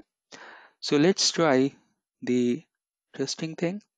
Let me go and log into the DNAC and we are going to give the user name that we have created as external user obviously and let's go here and let's give the IP and accept the warning accept the advance and risk. So this time what I will do that I will use admin1 remember we have created admin1 oops this is not the DNAC I should go and log into DNAC and that is 129.100 yep so 198.128.129.100 and here we can go now what we are going to do here that we'll go and log in and with log in with the admin one. We have two user, one is admin one and other one is the observer one. So let's try with admin one here. So let me type username and password once it will allow me to type admin one still it is loading. So I have given the username and password. Username you can see that admin1 and the password for admin1 now let's try to log in and you can see that we are successful. So admin1 is able to log in here. Now the same thing what we should do here that we should go back to the ISE so once you are back in the ISE you can go to the operation and inside the operation you will see the radius live logs so once you go inside the Radius live log, you can see the authentication is done, the authorization is done. You can expand this and you can see all the steps. So you can see the authentication is done. And one key thing we should check here that the attribute that we have Cisco AVP AirPress 15 is done. Correct? So this is the way that we can verify our configuration as well. Hi everyone. Thanks for listening this message in recent times we got messages that uh, do we have any program any course where we can go enroll and we will be very much eligible for the job market? What does it means that if you go and check the IT portals you can see that you have different course packages for CCNA then CCNP then firewall then cloud then automation etc right so what we have done that uh, we created one program for those engineers uh, who want everything at one place and they are new to the market or maybe they want to enhance their skill set. So we created such program, Joint. Joint is something like uh, job-oriented internetworking training. Now in this program, you can see that we have added CCNA routing switching, cloud virtualization, virtualization part of VMware, CCNA or um, associate level wireless knowledge, Cisco Meraki, Google Cloud associate level knowledge, not entire course, but how much you need um, to get clear in your interview or uh, when you are working on this cloud environment, you are not new to that cloud environment. Then Python, then routing switching, ASA firewall, and then we uh, we are adding firepower as well. So not only ASA firewall, but next generation firewall. Then we are going to add Cisco SD-WAN, Cisco DNA, etc. Like what we want that we want to make this course as a complete package course in terms that once you go and complete these areas, you write, you can write in your profile in your CV that you know these technologies. And apart from that, not only this course, once you go and use the joint nine, that's the code here. And if you apply, you will get maximum 85, 86% discount on this course. So not only that we are offering the discount coupon, but apart from that, we are giving the lab, EVE-NG lab. So whoever will go and join this particular course, they will go and get the EVE-NG lab as well. So they can practice routing switching, right? So what you need? You need a solid foundation, solid course where you can gain the technology knowledge. Then you need the lab environment where you can go and do hands-on practice and then you can go and add these areas in your profile and go for interviews and all, right? So on other words, in, in simple words, I can tell this thing that if you go to Udemy or YouTube, I have so many different courses I created just to obviously earn money.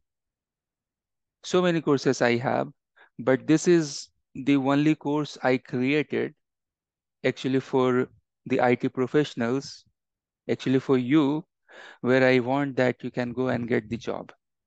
That's why I have added whatever I have 15, 16 years of uh, training experience. I have added all the best things from there. In terms of that, that you gain knowledge, whatever gray areas you have, someone knows networking, don't know automation and cloud. Someone knows networking, they don't know firewalling technology, security areas. So that means that you can go enroll this course, gain the knowledge on those areas that you don't know, or suppose if you have only one or two years of experience, then you can start this journey, journey, complete the entire course within five to six months or maybe three months, and then add these things within your CV profile and get the job. So this is something like job oriented or career oriented training that is going to help you to get the job and right knowledge to showcase in your profile. All right. Thanks for watching this video.